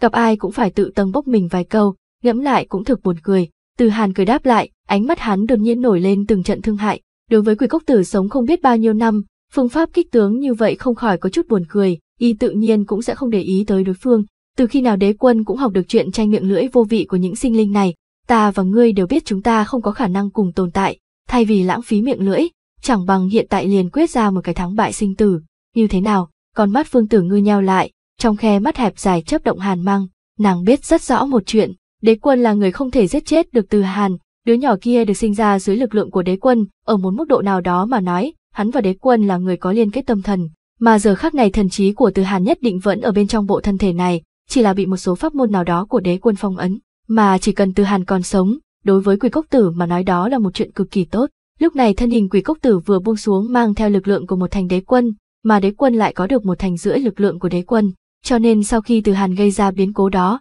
vì muốn mọi chuyện lại trở về quỹ đạo, khi định ra kế hoạch mới, đám quỷ cốc tử sớm đã cân nhắc qua, tựa như bọn chúng sẽ không ngồi nhìn thế giới này trôi nổi trong hư không, để đế quân có cơ hội mở ra phong ấn, đế quân cũng sẽ không cảm giác được sự buông xuống của bọn chúng. Song phương nhất định sẽ bắt đầu một hồi đại chiến quyết định sinh tử ở chỗ này, vì thế đám quỷ cốc tử đã chuẩn bị kỹ càng, mà một trong những thủ đoạn đó chính là Từ Hàn đang ngủ say trong cơ thể đế quân. Lực lượng đế quân quá mức cường hãn, mà phóng tầm mắt vạn vực tinh không, người có thể dùng cỗ lực lượng này đến mức tận cùng chỉ có bản thân đế quân mà thôi. Giờ phút này lực lượng đế quân nắm giữ mạnh hơn nàng, trình độ thi triển ra cao hơn nhiều, mà nguyên nhân nàng có can đảm đến đây, chính là vì nàng có thể thông qua bí pháp đánh thức được thần thức của Từ Hàn đang bị phong ấn trong cơ thể đế quân. Đến lúc đó thần thức của Từ Hàn tất nhiên sẽ nội đấu với đế quân, mà thực lực của đế quân cũng sẽ chịu ảnh hưởng rất lớn, đây cũng chính là cơ hội tốt nhất để nàng đánh bại đế quân. Nghĩ tới đây, trong lòng quỷ cốc tử khá vững tin một chút, quần áo toàn thân phồng lên, mâm tròn màu đen dưới chân tiếp tục xoay tròn, Hiển nhiên đúng như y nói, y đã chuẩn bị tinh thần quyết sinh tử cùng đế quân,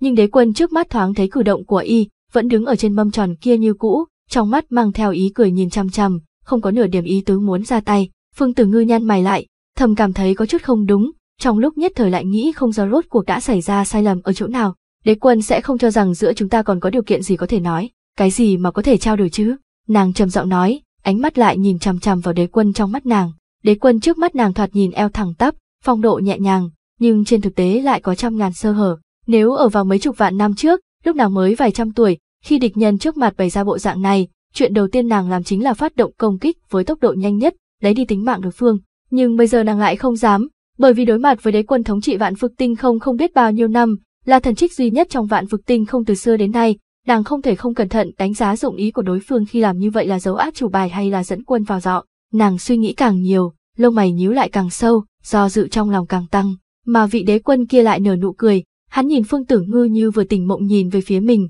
sau đó rất là kinh ngạc đưa tay chỉ vào bản thân, nói, quỷ cốc tử điện hạ đang nói chuyện với ta sao? Hai đầu lông mày Phương Tử Ngư hiện lên một tia tức giận, nàng coi cử động của đối phương là một loại khiêu khích, đương nhiên khiêu khích như vậy với quỷ cốc tử mà nói còn hơi có vẻ yếu kém, nhưng đối phương càng như thế, nàng càng không rõ lai lịch đối phương. Đế quân cho rằng như vậy rất thú vị sao? Khi đó nàng lạnh giọng hỏi, lớn tuổi rồi thì nên ở nhà dưỡng lão cho tốt, mắt mở chạy ra ngoài, ngoại trừ mất mặt xấu hổ, từ mỗ thực sự nghĩ không ra các hạ còn có thể làm ra chuyện gì. Từ hàn híp mắt nói, phương tử ngư nghe vậy đang muốn nổi giận, nhưng lời nói đến bên miệng chợt ngừng lại, nàng mở to mắt nhìn người trước mắt, hai đầu lông mày nổi lên từng trận hoàng sợ, nàng tự lẩm bẩm một cách khó tin, không đúng không phải, ngươi là từ hàn, đế quân đâu, làm sao ngươi có thể chiến thắng hắn, từ hàn nhún vai, nói, ta không phải đối thủ của đế quân, có thể lương tâm lão nhân gia phát hiện, tha cho ta một mạng, từ hàn nói tới chỗ này, một vị nam nhân tuấn Mỹ mặc hắc y cũng bước ra, đi tới trước người hắn, y trầm mắt nhìn thoáng qua phương tử ngư mặt đầy dị sắc, sau đó mâm tròn dưới chân lập tức xoay tròn,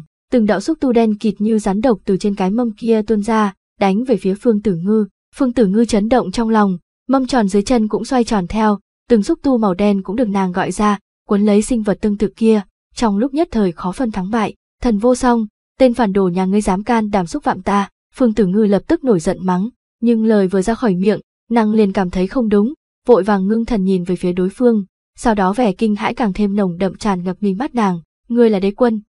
Tinh không vạn vực bao la bát ngát, có quá nhiều thế giới, cũng có trăm triệu sinh linh khó tính, quỷ cốc tử dù có bản lĩnh thông thiên cũng khó có thể tính toán toàn bộ vào trong đó, thế nhưng trong những gì y muốn tính toán thì lại có chút sai lầm. Thí dụ như từ Hàn và đế quân trước mắt, mọi chuyện của bọn họ vẫn cứ tiến hành hoàn mỹ dựa theo những suy đoán của đám quỷ cốc tử, đương nhiên cũng phải loại bỏ chuyện từ Hàn chém giết môn đồ của quỷ cốc tử trước đó mà phản công. Ừm, cũng phải loại bỏ đi tình cảnh hiện tại, nhưng quỷ cốc tử không hiểu vì sao lại xảy ra chuyện trước mắt, giống như mâu thuẫn giữa y và đế quân là phải sinh tử mới có thể giải quyết, giữa tử Hàn và đế quân cũng như vậy. Chính xác mà nói là ba bên bắt đầu từ mấy chục vạn năm trước khi ván cờ này được bố trí đã nhất định chỉ có thể là tử địch, nhưng tất cả những chuyện trước mắt đều rõ ràng nói cho quỷ cốc tử biết, dường như đế quân và Từ Hàn đã lựa chọn liên thủ, bất kể đế quân thỏa hiệp hay là Từ Hàn thần phục, đội bộ quỷ cốc tử đã sớm thôi diễn vô số lần hai kết quả này, đáp án nhận được đều là phủ định, mà quỷ cốc tử rất khó tin tưởng, mưu kế của bọn chúng sẽ phạm sai lầm. Y nhìn chằm chằm vào thần vô song và từ hàn ở trước mắt, ánh mắt lập loài hào quang. Sau đó y chợt nhớ tới một việc, thân thể đế quân đã sớm bị đôi thầy trò kia giết chết, gã muốn khôi phục trạng thái toàn thịnh của mình, tất nhiên cần một cái thể giác có thể thừa nhận lực lượng cường hãn như vậy. Mà từ hàn, quỷ cốc tưởng nghĩ tới chỗ này, hai tròng mắt ngưng tụ, trong mắt lập tức sát cơ hiện lên. Gần như cùng lúc đó, y bỗng nhiên từ trên mâm tròn màu đen kia nhảy lên, hóa thành một đạo lưu quang thẳng tắp vồ giết về phía Từ Hàn. Y thấy rõ, trên người Từ Hàn lúc này không còn chút lực lượng nào của đế quân, nói cách khác hắn không có chút chiến lực nào, mà Từ Hàn tuy yếu ớt, nhưng đối với đế quân lại cực kỳ quan trọng, dù sao ở trên đời này, thứ có thể chịu tải toàn bộ lực lượng đế quân không nhiều, mà Từ Hàn chính là thứ có thể dễ dàng làm được chuyện này. Chỉ cần giết được Từ Hàn, cho dù đế quân có thể may mắn chiến thắng trong trận này, nhưng cũng chỉ là đứng canh giữ ngọn núi vàng chứ không có sức đảo bới. Không thể không nói, có thể trong mấy hơi thở ngắn ngủi tìm được mấu chốt phá cục trong tình thế hỗn loạn thì bản lĩnh tính toán của quỷ cốc tử quả thực cao thâm vô cùng, chỉ là y có thể nghĩ đến điểm này, sao đế quân có thể không nghĩ tới chứ? Ngay khi y thuấn sát đến trước mặt Từ Hàn, thân thể thần vô song đã bị đế quân phụ thể lóe lên, liền xuất hiện ở trước người Từ Hàn, một tay của gã đột nhiên đánh ra, cùng hung hăng đụng vào trường phong do quỷ cốc tử đánh tới. Bạn đang xem Tàng Phong được đọc tại kênh YouTube Di Các Phim. Ầm, um, hai trường ấn nhìn như nhẹ nhàng kia va chạm vào nhau, trong chốc lát sau bỗng nhiên nổ vang một tiếng oanh kích, gió mạnh lạnh thấu xương thổi quét ra, đám người 19 còn đang ở trong vực sâu u ám hoảng hốt, thậm chí từng người không kịp chống đỡ bình chứng chân nguyên, thân thể bị thổi cho ngã trái ngã phải, thật vất vả mới nắm được tay nhau ổn định thân hình. Đợi đến khi cương phong kia dừng một chút, Phương Tử Ngư thấy một kích không chúng cũng không dám ham chiến, thân thể thuận thế lui mấy trượng, rơi trở về mâm tròn màu đen thuộc về mình, mà đế quân lại vung trường bào, cười nói, đây đã là bao nhiêu vạn năm chưa gặp rồi, bản tính sợ cứng lân yếu của ngươi vậy mà thủy chung không thay đổi, quả nhiên chó không đổi được thói ăn cứt, giỏi bọ cũng vĩnh viễn chỉ là giỏi bọ. Tình huống cực kỳ không lạc quan với quỷ cốc tử, thế nhưng ngoài miệng y vẫn không muốn rơi xuống thế yếu trước mặt đế quân, cũng không phải là thích thể hiện miệng lưỡi lợi hại nhất thời, mà là càng hiểu thời điểm này càng không thể cổ vũ khi diệm đối phương, khiến đối phương không thấy rõ hư thực mà có chỗ kiêng kỵ, như vậy mới có thể có một đường sinh cơ. Cho nên Phương Tử Ngư cười lạnh nói, dù gì đế quân cũng bị tại hạ cầm tù mấy trăm ngàn năm, nếu như giỏi bọ có thể làm được một điểm này, vậy đế quân tính là gì chứ? Lần này đế quân lại không còn hứng thú trả lời y nữa, ngay lúc đó đột nhiên bay ra, gã lập tức giết về phía Phương Tử Ngư, mặc dù trong lòng Phương Tử Ngư có chút kiêng kỵ, nhưng cũng hiểu được lúc này nếu như bó tay bó chân, vậy thì tuyệt không có chút phần thắng nào, cho nên trong lòng trầm xuống, vào lúc đó cũng mở ra lực lượng quanh thân mình, đồng dạng xung phong sông lên, cùng đế quân kia chiến thành một đoàn. Lực lượng hai người này đều cường hãn đến cực hạn, bọn họ đối chọi kéo ra uy thế nghiễm nhiên đã vượt ra nhận thức của mọi người ở đây, thậm chí đại đa số người trong bọn họ căn bản không cách nào giữ được thân hình hai người này, chỉ thấy từng đạo khí thế dọa người nổ tung trong vực sâu tam tối này. Ai, ta nói, ngay khi mọi người nhìn ra được chiêu thức của mình, một thanh âm đột ngột vang lên, mọi người vào thời điểm đó sững sờ, theo bản năng nhìn về phía thanh âm kia truyền đến, đã thấy mâm tròn màu đen cách bọn họ cực gần, Từ Hàn dùng một tư thế cực kỳ chật vật treo ở rìa cái mâm tròn đó, đại khái là bởi vì quỷ cốc tử đại chiến với đế quân tạo thành khí thế quá mức cuồng bạo, trong lúc vô ý hắn mới bị khí kình kia hất bay thân thể, ngã xuống mâm tròn, may mắn hắn tay mắt lanh lẹ túm lấy mép mâm tròn, lúc này mới tránh đi cảnh ngộ chật vật ngã xuống. Nếu các ngươi đã xem đủ, thì mau đến đỡ ta. Mọi người vẫn còn đang sững sờ như chưa hoàn toàn tỉnh táo từ mọi chuyện xảy ra lúc trước, đến khi giọng nói của Từ Hàn vang lên, Huyền Nhi mới phản ứng trước tiên, bước nhanh một bước phi thân ra, ôm chầm lấy eo Từ Hàn, sau đó chậm rãi rơi xuống mặt đất, đây đương nhiên là một hình ảnh cực kỳ đẹp mắt, một người ôm eo một người khác, chậm rãi hạ xuống ở trong bóng tối khôn cùng, ánh mắt hai người đối diện nhau, tựa như có dòng nước mùa thu truyền, có gió xuân phất qua mặt, Từ Hàn nghĩ, nếu có thể đổi được vị trí của hai người thì càng tốt, hốc mắt Huyền Nhi ửng đỏ, nàng ôm chặt Từ Hàn, còn Từ Hàn lại cố tình thoát khỏi vòng tay đối phương. Thế nhưng, một thân tu vi của hắn đã sớm bị quỷ cốc tử phế bỏ khi đối kháng với đối phương ngày đó. Giờ phút này ngoại trừ thân thể mạnh mẽ một chút, liền không có chỗ gì hơn được người thường. Thân là yêu quân, Huyền Nhi đương nhiên có thể dễ dàng chế trụ hắn. Khụ, vậy thì thả, Huyền Nhi, ngươi có thể thả ta xuống trước được không? Từ Hàn cảm thấy cứ ôm nhau như vậy cuối cùng cũng mất thể diện, tốt xấu gì hắn cũng là một nam nhi bảy thước, chút thể diện này cũng phải có, nhưng có lẽ do biến thành thân người, tâm tư cũng đã phát sinh biến hóa, hoặc là một vài chuyện mà Từ Hàn không muốn suy nghĩ nhiều. Huyền Nhi lúc này cũng không muốn nghe hắn nói, nàng vẫn ôm chặt hắn không buông tay, ngược lại gương mặt từng bước một tới gần mặt Từ Hàn, mắt thấy đôi môi đỏ mọng của nàng sắp rơi xuống khóe miệng hắn, trong lòng Từ Hàn chấn động, vội vàng vươn tay ra, chắn ngang ngay giữa môi của hắn và Huyền Nhi, sau đó hắn cười khổ nhìn về phía thiếu nữ vẻ mặt hoang mang, nói, chuyện này, hình như không phải lúc. Làm sao không phải lúc, nếu cứ chờ đợi thì chúng ta phải chết, trước khi chết ta cũng muốn làm vài việc, Huyền Nhi tức giận nói, đối thoại như vậy chất chứa đủ loại ý nghĩa khiến người ta muốn thanh thoát, nhưng 19 lại nghe không hiểu lắm, nàng nghi hoặc nhìn 18 bên cạnh, hỏi, sư phụ, bọn họ muốn làm gì? 18 bất đắc dĩ thở dài, nói, chuyện của người lớn, con ít không nên quan tâm, 19 ứng tiếng a xong, nhưng con mắt vẫn nhìn thẳng vào hai người, trong mắt tràn ngập tò mò, còn đối thoại của Từ Hàn và Huyền Nhi vẫn đang tiếp tục, chết, ai nói chúng ta phải chết, ngươi còn có thể là đối thủ của bọn chúng sao? Huyền Nhi không chịu buông tha, thừa dịp chúng ta còn chưa chết, ta muốn. Lời này còn chưa nói hết đã bị Từ Hàn ngắt lời, ngươi muốn làm gì cũng được, trước tiên thả ta xuống đã, ta không đi. Huyền Nhi lắc đầu, giờ phút này không có nửa điểm uy nghiêm của yêu quân, ngược lại cực kỳ giống một đứa bé tính tình hẹp hòi. Huyền Nhi, đây chính là chuyện lớn của thương sinh trong thiên hạ, người không thể hồ đồ. Từ Hàn thấy nàng mềm lòng đành phải nghiêm sắc mặt, trầm giọng nói, tuy thời khắc này tu vi của hắn đã không còn bao nhiêu, nếu thật sự đánh nhau, e rằng 10 Từ Hàn cũng chưa chắc đã là đối thủ của Huyền Nhi, nhưng đối mặt với hắn như vậy, Huyền Nhi vẫn rụt cổ lại, vẻ mặt không tình nguyện buông hắn xuống. Rốt cuộc Từ Hàn cũng có thể hai chân chạm đất sửa sang lại quần áo của mình, sau đó ho khan hai tiếng, lần đầu định nói gì đó thì lại đối mặt với ánh mắt cổ quái của Hậu Khanh và 19 đưa tới. Từ Hàn nghĩ tới tình hình lúc nãy, dù với tâm tính của hắn cũng không khỏi cảm thấy da mặt nóng lên, nhưng lúc này hắn hiển nhiên cũng bất chấp tất cả, chỉ có thể kiên trì, ra vẻ như không có chuyện gì xảy ra đi tới trước mặt mọi người. Đại chiến nơi trên trời vẫn đang tiếp tục, thậm chí đã đến giai đoạn gai cấn, mấy vị tùy tùng của đế quân được đặt ở một bên khác, ngẩng đầu nhìn chăm chú trận đại chiến này, mà hai mông tròn màu đen bao vây lực lượng bản nguyên của bọn họ cũng được gọi ra, không ngừng va chạm ở phía chân trời. Từ Hàn lại hiểu rõ, hai bên nhìn như người tới ta đi rất náo nhiệt, nhưng không ra trăm hơi thở, quỷ cốc tử liền lộ vẻ mệt mỏi, mà hắn phải đánh một nước đi cuối cùng rơi vào bàn cờ trước khi chuyện này xảy ra. Đầu tiên hắn hành một đại lễ với mọi người, nói, mấy ngày nay, chư vị vất vả rồi, chẳng qua lễ nghĩa của hắn tuy chu đáo, nhưng mọi người hiện tại hiển nhiên cũng không có tâm tư hoàn lễ, chỉ có vị yêu quân phi liêm nhìn qua cực kỳ chật vật kia khẽ gật đầu đáp lại hắn. Từ hàn càng lúng túng, hắn dứt khoát không tiếp tục làm chuyện vô vị này nữa, mà quay đầu nhìn về phía 18 bên kia, nói, ngươi thì sao, chuẩn bị xong chưa? 18 nhếch miệng lên, gật đầu nói, nhiều năm như vậy, mỗi ngày ta đều sống trong ngày này, ngươi cảm thấy ta đã chuẩn bị xong chưa? Từ Hàn nghe vậy, trên mặt lập tức cũng lộ ra vẻ tươi cười, nhưng bọn họ nói chuyện rất vui vẻ, đám người bên cạnh lại không hiểu gì cả. Sư phụ, hai người đang nói gì vậy? Đây là chuyện của người lớn à? 19 nghiêng đầu hỏi, 18 cúi đầu nhìn về phía nàng, thần tình trên mặt hiền lành, y sờ sờ đồ đệ nhà mình, nói, lần này, là chuyện của chúng ta, dứt lời, dưới ánh mắt kinh ngạc của 19, nếp nhăn tung hoành trên khuôn mặt 18 bắt đầu tàn đi với tốc độ mắt thường có thể thấy được, sau đó thân hình của y cũng không ngừng thu nhỏ lại, nháy mắt sau, lão nhân tuổi quá 70 thế mà lại hóa thành một đứa trẻ mười mấy tuổi, 19 chớp chớp mắt, nàng cảm thấy sư phụ nhà mình hóa thành trẻ con trước mắt này lại có chút quen mắt. Đế quân cho rằng giết được ta thì mọi chuyện đều có thể đại cát sao, từ hàn kia có thể luôn nhìn ngươi, lẽ nào ngươi thật cho rằng hắn là hiền lành vô hại, liên thủ cùng hắn không khác gì bảo hộ lột ra, đế quân cũng không nên may áo cưới cho người khác à.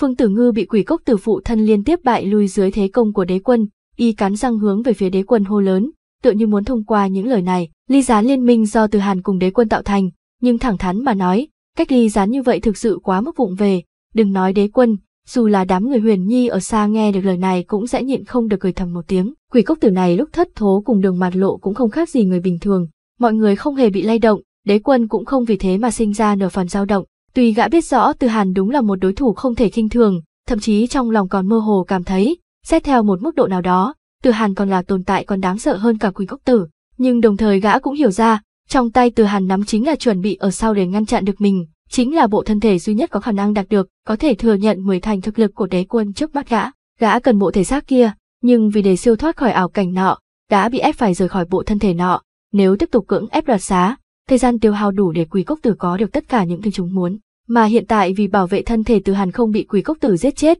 gã không thể không giải quyết đại địch này trước, sau đó mới chuẩn bị hậu chiêu. Bởi vậy mà kệ quỷ cốc tử nói từ hàn nguy hiểm cỡ nào, đế quân sớm đã định tâm ý, không có nửa phần do dự, Ngược lại bởi vì những lời này của quỷ cốc tử, để gã người được sợ hãi trong lòng đối phương, cho nên liên tục xuất ra sát chiêu, thủ đoạn càng thêm ngoan lệ. Quỷ cốc tử cũng cảm nhận được điểm này, sắc mặt y tái xanh, có thể nói là liên tục bại lui dưới thế công của đế quân, có vẻ thua trận cũng chỉ là vấn đề thời gian. Trận đại chiến này liên quan đến tương lai phương thiên địa này cùng toàn bộ vạn vực tinh không, đương sự đánh cho người chết ta sống, túi bụi, nhưng hết lần này đến lần khác mấy vị ở ngoài đứng xem giờ phút này lại không quan tâm trận đại chiến này. Bọn họ đồng loạt quay đầu nhìn về phía 19, ánh mắt hoảng sợ nhìn nơi đó, nơi đó có hai người giống nhau như đúc, đều là 19, chỉ một người trong đó là lão nhân thần bí kia biến thành, nhưng cho dù biết như thế, sau khi chứng kiến biến hóa quỷ dị như vậy, mọi người vẫn không tránh khỏi một trận nghẹn họng nhìn chăm chối. Sư phụ, người, người đây là... Đương nhiên kinh hãi nhất vẫn là bản thân 19, nàng không thể tưởng tượng nổi nhìn cô bé giống hệt mình trước mắt, cánh môi run run, 18 hóa thành 19 nhìn nàng mỉm cười, nói, sao vậy, sư phụ, người hóa thành hình dạng của đệ tử làm gì, trong lòng 19 sau khi kinh hãi bình tĩnh lại một chút, nhưng trong lòng lại mơ hồ nổi lên một cảm giác bất an. 18 lắc đầu, cười nói, ta chưa từng hóa thành bộ dáng của ngươi, đây là dáng vẻ vốn có của ta. Hả? 19 giật mình trong lòng, mọi người xung quanh đều biến sắc, hiển nhiên cũng không quá lý giải y trong lời nói này của 18, chỉ có từ hàn đứng bên sắc mặt bình tĩnh, dường như đã sớm đoán trước hết thầy, có ý tứ gì? 19 lại hỏi, đôi môi của nàng lúc nãy bình tĩnh trở lại, lúc này lại bắt đầu run rẩy, Vẻ bất an mới dâng lên trong lòng nàng trong nháy mắt trở nên càng thêm mãnh liệt, thế cho nên hoảng sợ bao phủ quanh thân nàng, trong lúc nhất thời trong đầu nàng là một mảnh hoang mang. 18 hiển nhiên nhìn ra vẻ sợ hãi của 19, nụ cười trên mặt cô càng sâu, lúc đó vươn tay nhẹ nhàng vuốt ve cái đầu đệ tử nhà mình, nhẹ giọng nói, đừng sợ, sư phụ sao có thể hại ngươi, tình huống như vậy ta cũng từng trải qua, sẽ có một chút đau đớn, nhưng sau đó ngươi sẽ hiểu tất cả. Thân hình 19 theo lời thối lui về phía sau một bước, nàng lắc đầu, theo bản năng cự tuyệt một số chân tướng sắp bị vạch trần, 19 không hiểu, 19 cũng không muốn hiểu. Sư phụ, ngài rốt cuộc muốn làm cái gì? Đầu óc nàng bắt đầu đau nhức, lại không biết đến tột cùng là vì nỗi sợ hãi trong lòng, hay là nguyên nhân gì khác. Nàng nhớ tới 18 trước đó từng nói qua vài câu đại khái thí thần giả, báo thù, 18, 19, thậm chí trong nháy mắt nàng sinh ra một loại xúc động muốn chạy trốn, một ít trí nhớ trong đầu nàng bắt đầu trở nên mơ hồ, đã không chân thực, đừng sợ, ta chính là ngươi, ngươi chính là ta, chúng ta vốn là một người. Nhưng 18 dường như cũng không cảm nhận được khác thường của cô bé lúc này, cô tiếp tục lẩm bẩm, thân thể càng bước ra một bước, đi về phía 19 đang thối lui, 19 chính là 19, không phải người khác, người khác cũng không phải là ta. 19 lớn tiếng nói, trong khoảnh khắc đó chân nguyên quanh thân bị nàng thúc giục, nghiễm nhiên đã chuẩn bị tốt bỏ trốn khỏi nơi này. Nàng không dành suy nghĩ rốt cuộc đã xảy ra cái gì,